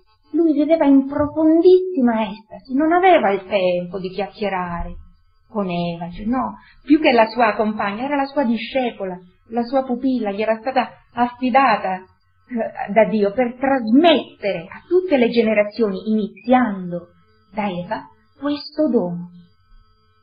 Allora lui, eh, il nostro santo padre Adamo, con questa divina volontà che operava in lui come vita, senza sforzo, si sentiva inondato da tonnellate e tonnellate di amore, di grazia, di conoscenza. Nel giardino, che era la terra, Dio gli parlava, passeggiava con lui al fresco della sera e gli parlava, eh, gli aumentava le conoscenze di Dio e queste conoscenze lui le riceveva attraverso il creato. Mangiava una pesca non soltanto vedeva quanto è carina, quanto è bella, quanto è profumata, noi vediamo là, questa è matura, questa no, questa è dolce. No, no, questa è l'opera pesca, ma c'è un atto di Dio eterno, atto depositato nella divina volontà, che non passerà, la pesca passerà. L'atto di Dio chiamato pesca non passerà. È un atto unico, di una dolcezza particolare, di una tenerezza, di una vellutatezza particolare, eh, di una armonia di colori particolari. E questa è una combinazione speciale dell'amore di Dio che solo l'atto pesca mi può dare. Allora Adamo mentre mangiava la pesca o soltanto la guardava, si nutriva altro che di pesca, si nutriva di volontà divina, perché la volontà divina operante in lui voleva l'alimento di che? Di se stessa. La volontà divina mangia solo volontà divina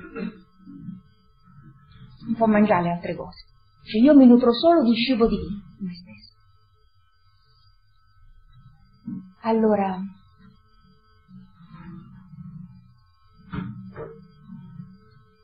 mi scuso se molti tra noi magari già conoscono queste cose, ma per me è sempre la prima volta, perché cominciamo sempre dall'inizio.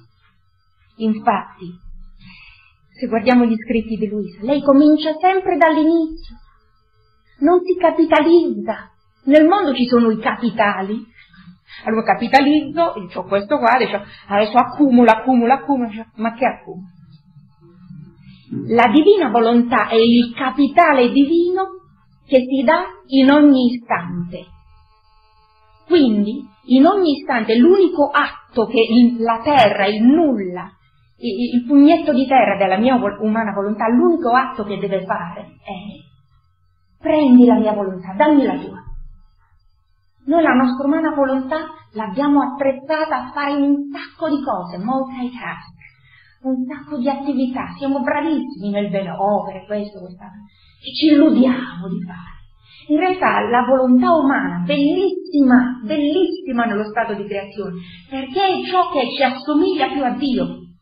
Oh, se il filo d'erba avesse una volontà, potrebbe cantare le lodi di Dio, ma il filo d'erba non ce l'ha, aspetta che ci vada io a riconoscere l'atto filo d'erba.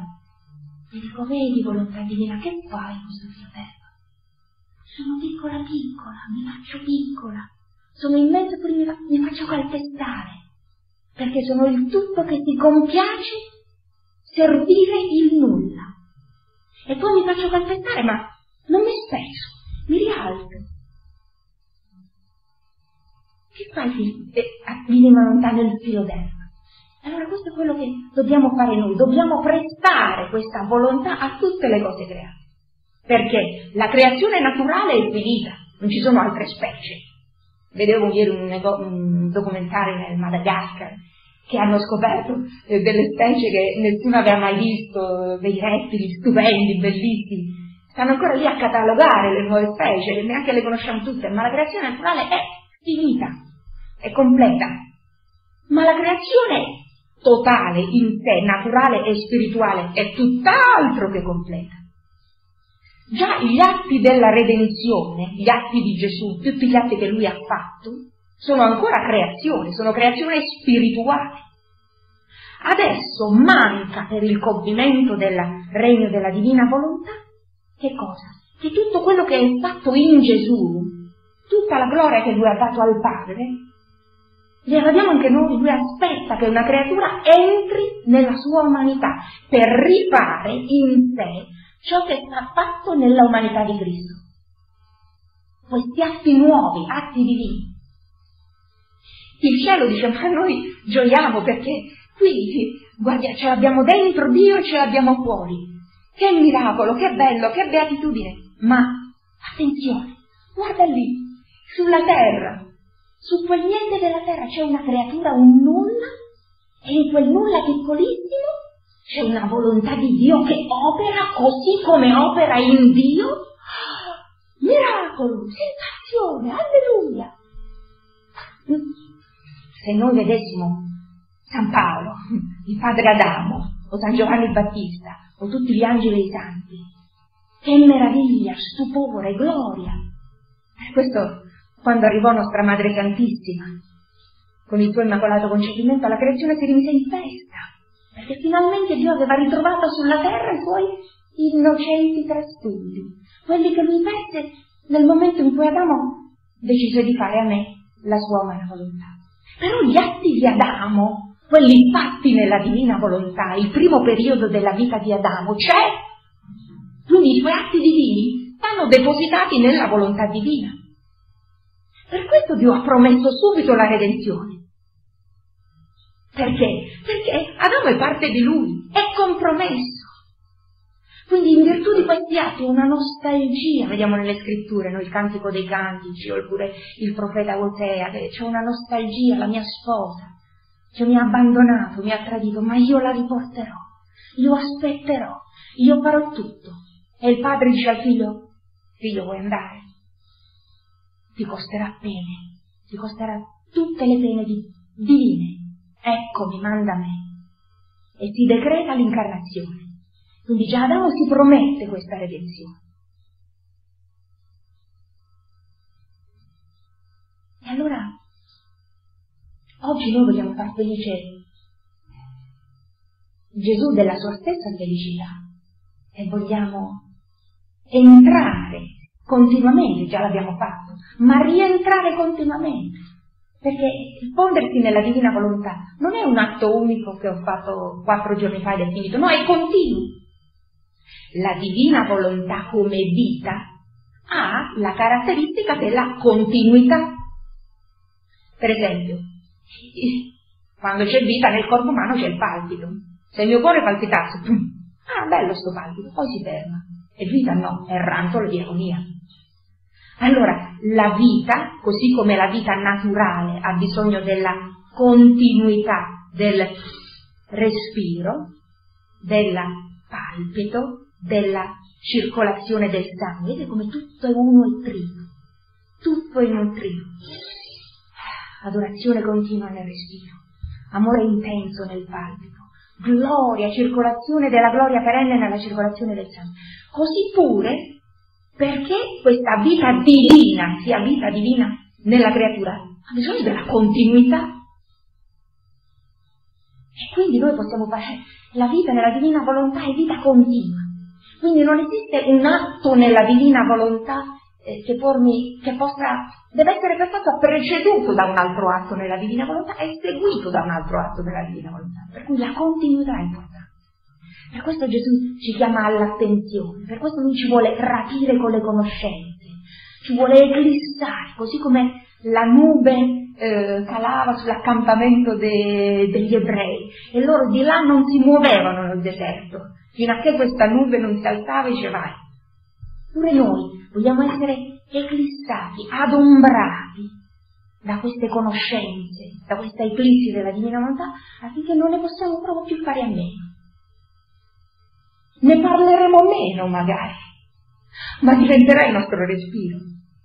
Non avremo bisogno di tante opere esterne, oppure delle opere esterne che ci davano tanta soddisfazione, o ci facevano sentire soddisfatti nel cammino spirituale, Gesù ce le farà sembrare indifferenti, quasi noiose. Ma che è successo? Gesù, mi stai cambiando tutti i gusti. Provava tanto gusto in queste cose tante. Via anche quelli. Perché regnare vuol dire regnare da solo. Fa regnare Gesù in tutti gli atti nostri. E ehm,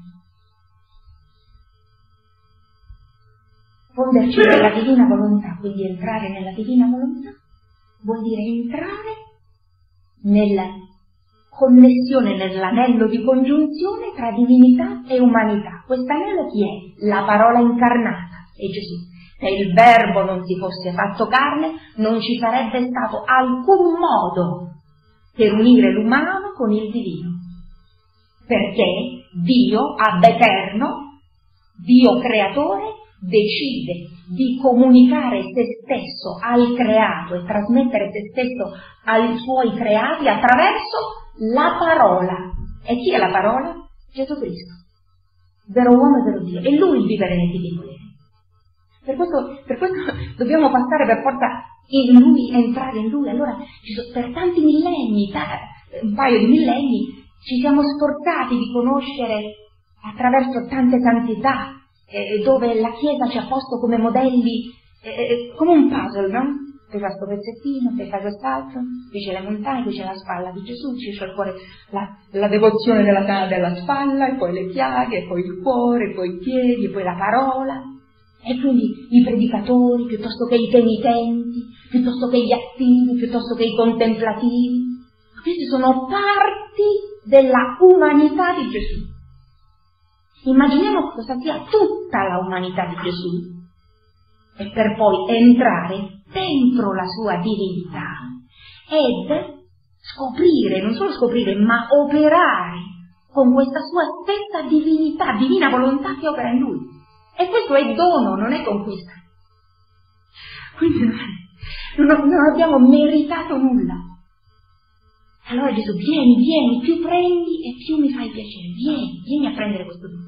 È anche vero che questo dono deve essere conosciuto, apprezzato. Perché se io, dice Gesù, metto una banconota da un milione nelle mani di un bambino che fa? La strappa, non conosce il valore. Allora più conosco il valore di questo dono, tramite le conoscenze che diventano miei atti, e più non ne posso fare meno, diventa vita mia. Per questo le conoscenze sono fondamentali. Ora per conoscenze che intendiamo, no? Scienze umane, tomi, dottrine, eh, non lo so, eh, studi particolari, no. Ti, ti, ringrazio, Padre Santissimo, perché, perché ai piccoli, agli ignoranti, ai, agli stupidotti, hai rivelato le meraviglie del tuo regno. Mi è capitato no, di andare a trovarmi in vari posti del mondo, eh, nei posti, nel, nelle baracche di Manila, negli squadri di Manila, con il fango fino, alla, eh, fino alle ginocchia, oppure in posti dove regna magari la povertà, l'ignoranza umana, ecco la povertà di spirito. E lì, e lì la divina volontà regna più facilmente, si, si può far comprendere più facilmente ed è compresa più facilmente. Allora Gesù vogliamo entrare nella tua umanità, fonderci ancora una volta, e Gesù dice solo il fonderti nella mia umanità parte per parte e prendere in te e ripetere gli atti che la mia divinità faceva nella mia umanità, solo questo riordina, riequilibra tutte le riparazioni, abbraccia tutte le creature. Fuori non si vedrà nulla, non hai un, necessariamente un uniforme, un abito, non hai un, un titolo particolare, non fai parte eh, della gerarchia di un ordine, non, no, stai lì a coltivare l'orto sinergico, a cogliere la lavanda. Eppure dice, fondite nella mia umanità. Quest'atto, essendo atto divino, animato dalla mia divina volontà, riempie cielo e terra di adorazione. Gesù faceva sempre tre cose in ogni suo atto. Prima, gloria al Padre. Ti ringrazio, Padre, Padre mio, in Lui eh, eh, tu mi hai dato tutto, io ti ringrazio in nome di tutte le creature. Poi che cosa faceva? Diceva, vedi, vedi questi, questi miei fratelli? Loro magari non lo fanno, lo faccio io per loro, riparo io, riparo io. Tutto quello che loro non ti danno, lo faccio io. Vuoi le pene? Tieni. Vuoi lacrime e sangue? Tieni. Vuoi una morte per ogni peccato di creatura? Sono qui, l'eterno agnello. Ripara e poi che fa? In virtù di questa riparazione divina, dammi il regno. Lo chiedo, venga il tuo regno, sia fatta la tua volontà come in cielo. È decreto divino. E quindi unendoci alla preghiera di Gesù noi lo otteniamo. Dobbiamo noi visualizzare o misurare gli effetti o decidere che il regno verrà quando viene canonizzata l'unità piccarreta o quando... No, liberiamoci da queste cause seconde, dobbiamo stare nell'atto primo, entriamo dentro la vita degli atti. Le opere sono taglia. Dice, dice Gesù agli scritti di Luisa, io di opere, ma guarda, girati intorno, guarda quante opere ho fatto, ne ho fatte abbastanza. Di opere non me ne servono più. Io voglio moltiplicare la mia vita. Allora, il vivere nella divina volontà ovviamente non è un movimento, non è una devozione, non è neanche una spiritualità, la spiritualità di Gesù, no, è vita divina nell'anima, è il compimento della creazione. O anima che vivi nel mio volere, per te tutto si compie, con te tutto viene riunificato. Tu sei so, il solo scopo della creazione, tu sei il vero compimento della redenzione.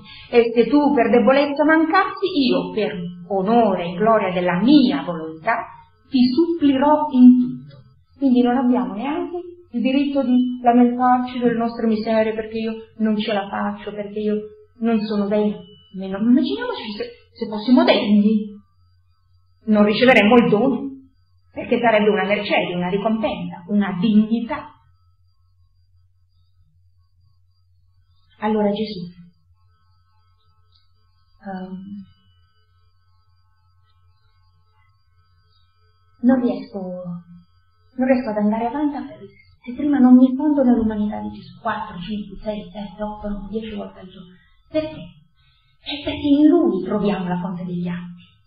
Allora, qui dal titolo si vede se avete voglia oggi, come abbiamo fatto in altre occasioni, vogliamo entrare in questa divina volontà, entrando nell'umanità di Gesù, e seguire, ripetere in noi quello che Gesù ha fatto. In particolare, seguiremo Gesù in alcuni degli atti luminosi. Scritto atti luminosi, perché per semplicità no? abbiamo questa potentissima catena, lo strumento meraviglioso del Santo Rosario, che nostra Madre Santissima ce l'ha data per eh, ci aiuta a combattere le distrazioni, ci aiuta a focalizzarci sui frutti, le virtù, ma in realtà questa catena ha una valenza, una potenza ancora più grande. Ci serve per unire passo passo, in modo sequenziale, la nostra volontà a quella divina, per seguire Gesù in tutti gli atti. Quindi non soltanto possiamo fare gli atti, gli atti della creazione, ovviamente, eh, sì, gli atti gioiosi, gli atti dolorosi, gli atti luminosi che ci ha donato Giovanni Paolo II, ci ha fatto comprendere che possiamo estendere. Quanti altri? Non dobbiamo soltanto meditare nella divina volontà, dobbiamo entrare in tutti questi atti, ed atti gloriosi. Quindi la catena del Santo Rosario ci aiuta perché, siccome noi non siamo nell'atto unico, eh, siamo in un ambiente ad extra che è scandito dal tempo e dallo spazio, siamo in un'atmosfera, in un ambiente sequenziale. Uno, due, tre, quattro, cinque. Possiamo fare atti sequenziali. Invece in Dio, nella sua volontà, entrando nella sua volontà, troviamo l'atto unico. Finché siamo sulla terra, a meno che il Signore non ci chiama in estasi, non ci chiama in quel momento di luce quando tutto sparisce, entriamo nella luce della divina volontà, o, o da, ci dà doni particolari, non possiamo avere la percezione dell'atto unico, la generazione del Verbo, la procedenza dello Spirito Santo, il decreto dell'incarnazione, la creazione, tutto quello che ha fatto Gesù, la santificazione. In Dio è tutto un atto, atto unico, che si dispiega per noi in tanti atti, per farceli capire. Non importa se gli servono millenni per, darci, per farci capire, lui arriverà. Però entrando già in questa divina volontà quando siamo qui in terra, noi già entriamo nell'ambito dell'eternità. Pertanto, immaginiamo questa divina volontà come un contenitore, un contenitore di tutti gli atti di Dio. Questo ambiente è il contenitore di tutti gli atti di Dio. Qui c'è la creazione dell'uomo, qui c'è l'Immacolato Concepimento di Maria, qui c'è eh, le pene di Gesù, la passione di Gesù, l'assunzione di Maria Santissima, atti, l'istituzione dei sacramenti, tutti gli atti e le ispirazioni dello Spirito Santo, tutti i modi di santificazione che fa lo Spirito Santo, sono tutti in questa divina volontà. E quindi vivere nella divina volontà vuol dire entrare in questa volontà divina è, come dire, succhiarli con la cannuccia, unirci uno per uno. Ma siccome, come faccio io a ingerire tutto, tutto l'ossigeno che c'è in questo ambiente? Impossibile. Allora vado un pochino alla volta. Non importa dove inizio, di qua, di là, l'importante è che io sto dentro. Perché il bello della divina volontà è che ha la proprietà dell'unità. Vuol dire che la parte contiene il tutto e il tutto contiene la parte. Parliamo uno scienziato sulla Terra e dice, ma dice, dov'hai? Eh, facciamo l'esempio, no? Quando abbiamo girato nei mari di Maria Santissima, mi pare, qualche mese fa. È come entrare in questo mare dove c'è una goccia, apro la goccia e c'è dentro la goccia tutto il. Cioè, questo è il bello. Basta che sto dentro la divina volontà, sto nel tutto. Il problema dell'uomo è risolto. Perché il problema dell'uomo è la scarsità delle risorse, no? Pare che il tempo non, non, basta mai, lo spazio non basta mai. Voglio fare il bene A, però non riesco a fare il bene B. Allora come faccio? Cosa discerno? Sto qui o vado là? Allora Gesù dice, entra nella mia divina volontà, unisciti agli atti miei e stai nel tutto. E questa è la pace. Qualsiasi circostanza della tua vita, poi non devi aspettare che ti verifichino nessuna, alcuna circostanza. Noi mettiamo le condizioni, dice sì però devo prima eh, trovare casa e poi no, adesso entri nella divina volontà. Adesso.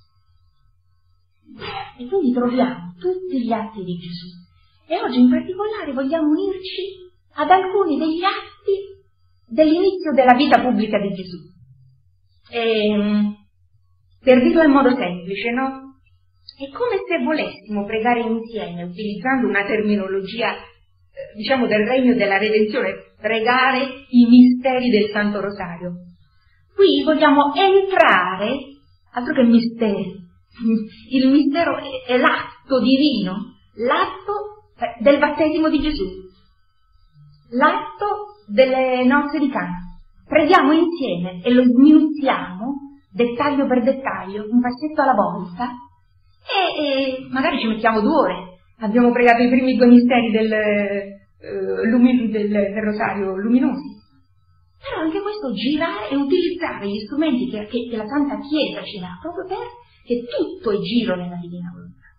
La Santa Messa è il giro nella Divina Volontà. La Santa Messa è entrare nell'umanità di Gesù, nella sua incarnazione, la parola, la redenzione, la passione, morte e risurrezione di Gesù. Altro che assistere alla Santa Messa. Ci mettiamo a partecipare, a partecipare con Gesù, dice Gesù, e, e si legge il Vangelo, vedi Gesù, questi sono atti tuoi, sono atti miei, Gesù.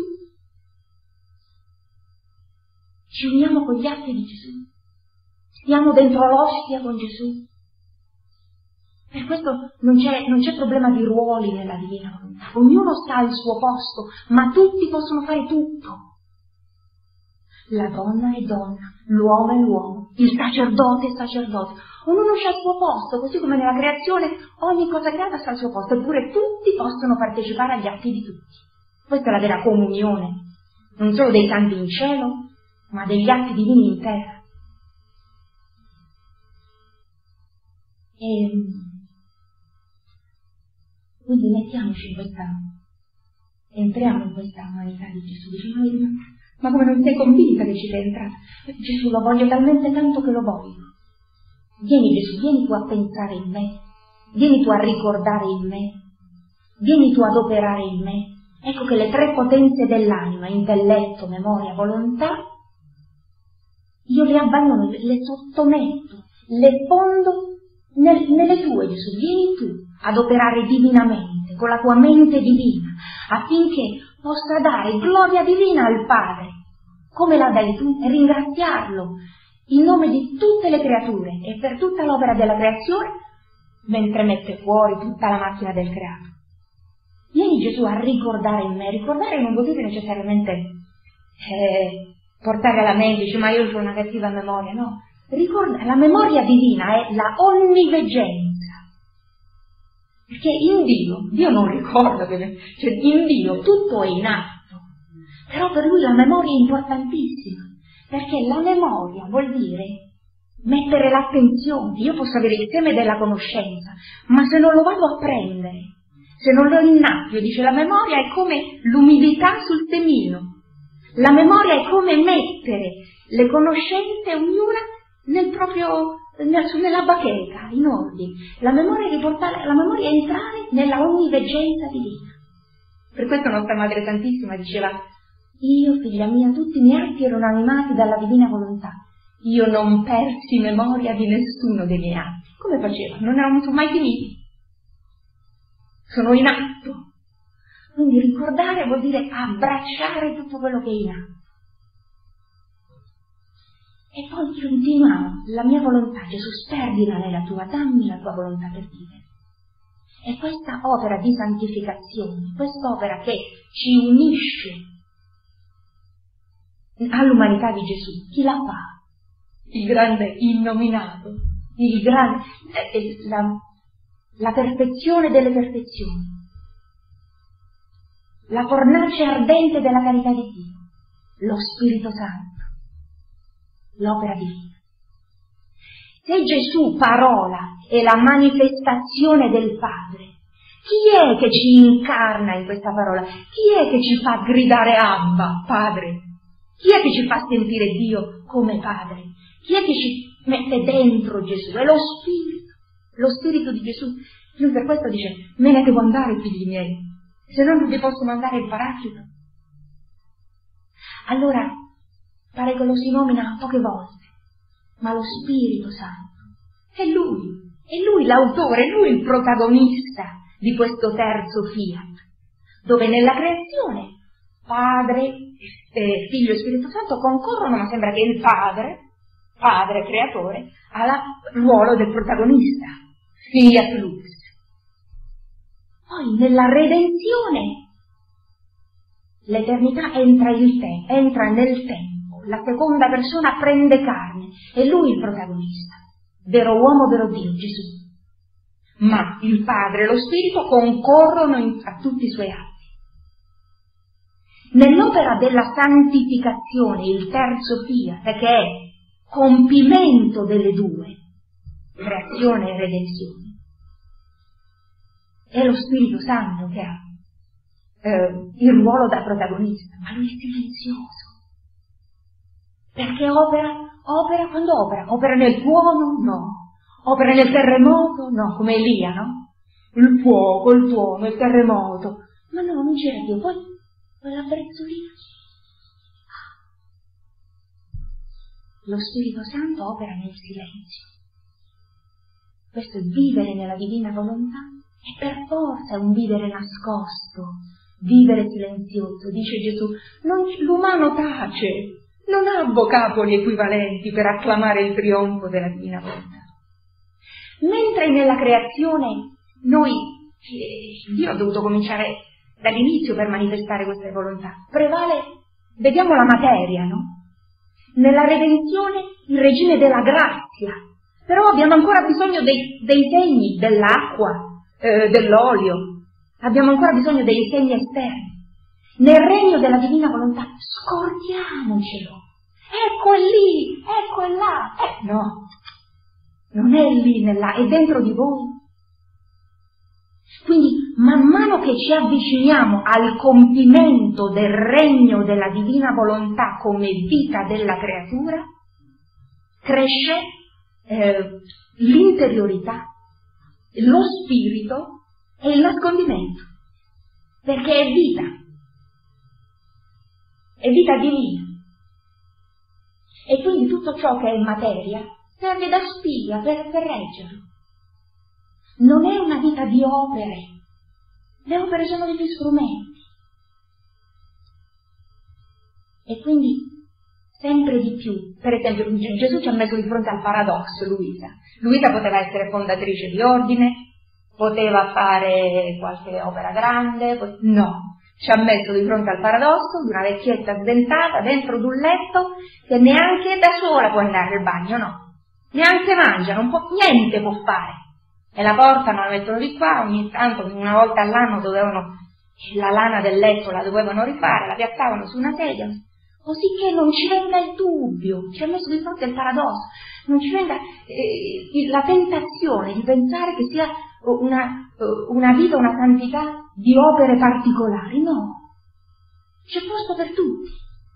C'è posto per lui che non ha fatto niente di esterno, eppure tutto faceva nel suo interno. Vola, colomba mia, entra nella mia divina volontà, corri per tutti gli atti della creazione, metti il mio ti amo a nome di tutta la famiglia umana. Ho bisogno che tutto quello che sta fatto in me, Gesù, adesso venga fatto in una creatura. Una, ovviamente sta fatto già in Maria, ma in una creatura di stirpe comune, cioè nata con peccato originale, affinché questo regno, perso da padre Adamo, possa essere, tramite il prototipo, il primo atto, la prima creatura, essere dato a tutti quelli che lo vogliono. Quando Dio fa opere universali, le fa sempre a tu per tu. Creò un uomo, creò Adamo. Eva non fu creata, Eva venne tratta da Adamo. La creazione dell'uomo, creato a immagine e somiglianza di Gesù Cristo, ovviamente. La incarnazione del Verbo, una volta si incarna, dove? Nel, nel seno virginale purissimo di Maria Santissima.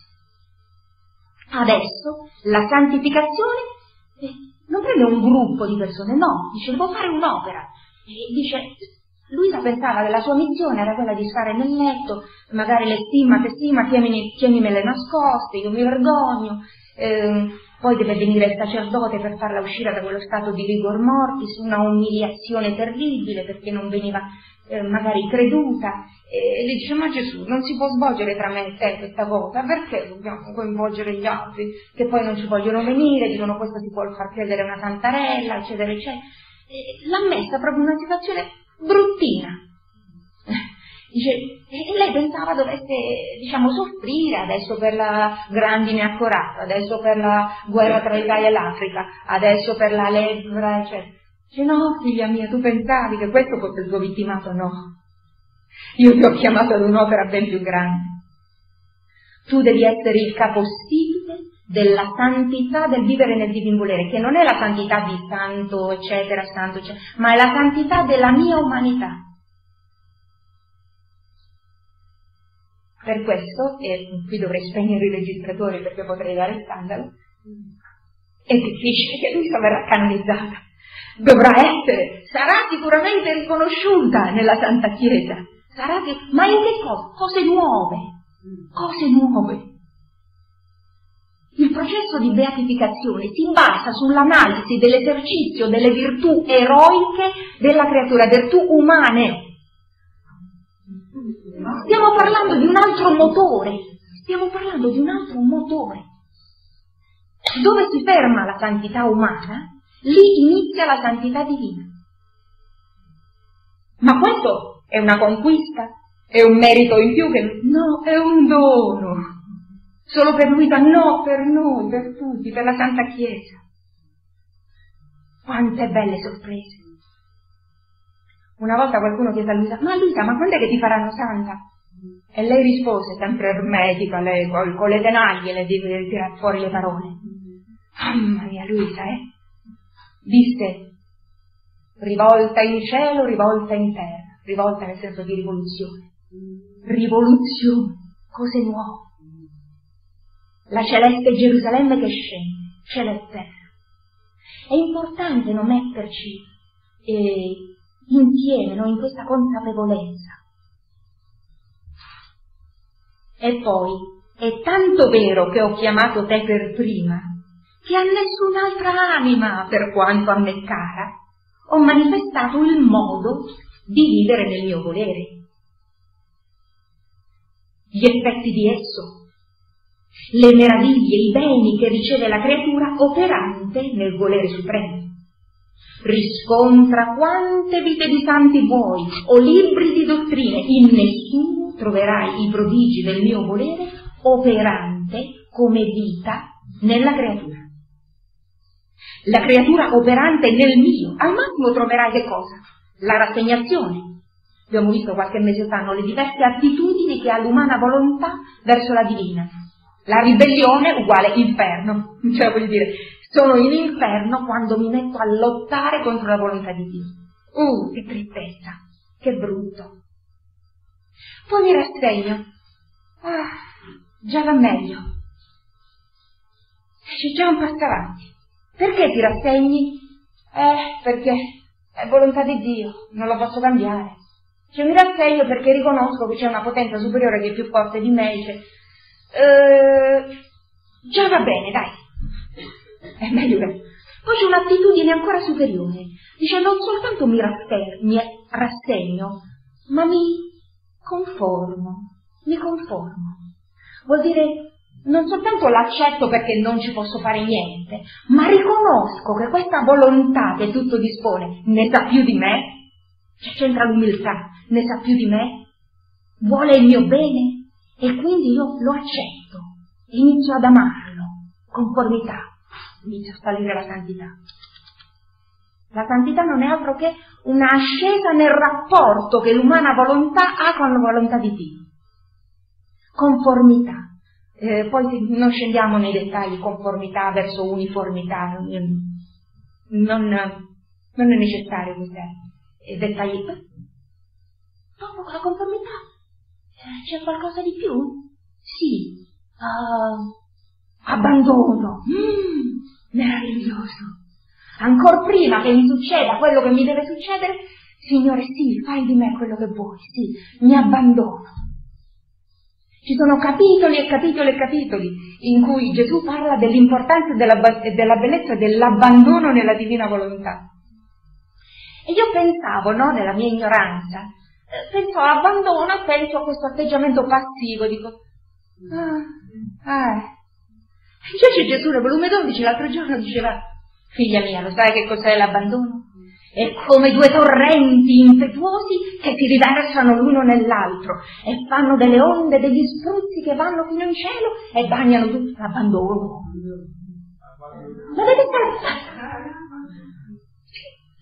L'abbandono. Che cosa vuol dire? L'umana volontà che si abbandona nella divina, la potenza della, della Dora Baltia nella Dora di Paglia. Ho capito lei. Il vero abbandono, altro che atteggiamento passivo. Il fiat mili di Maria, altro che atteggiamento passivo. Si scatena la potenza del, di Dio. E quindi, infatti, dice, per girare nella divina volontà, non ci vuole la preparazione, l'attività. Abbandonati. Faccio io. E quindi nell'abbandono, quindi nella fiducia, nell'atto più eroico che l'umana volontà possa fare, l'unico atto eroico chiamato a fare, quello di ah, darsi preda alla divina. Dice Gesù, in ogni istante io mi davo preda al Padre mio. E il Padre mio, dice il Padre che fa? Mi istruiva, mi proteggeva, mi guidava. Io non parlo per, per mia autorità, io dico le parole del Padre. Io non faccio le mie opere, io faccio quello che vedo fare al Padre. Il Padre è sempre con me, dice Giovanni, perché io faccio ciò che a Lui piace. Il Padre mi ha dato tutto. Gesù è abbandonato nel Padre. E questo scatena la potenza della divina volontà. L'abbandono.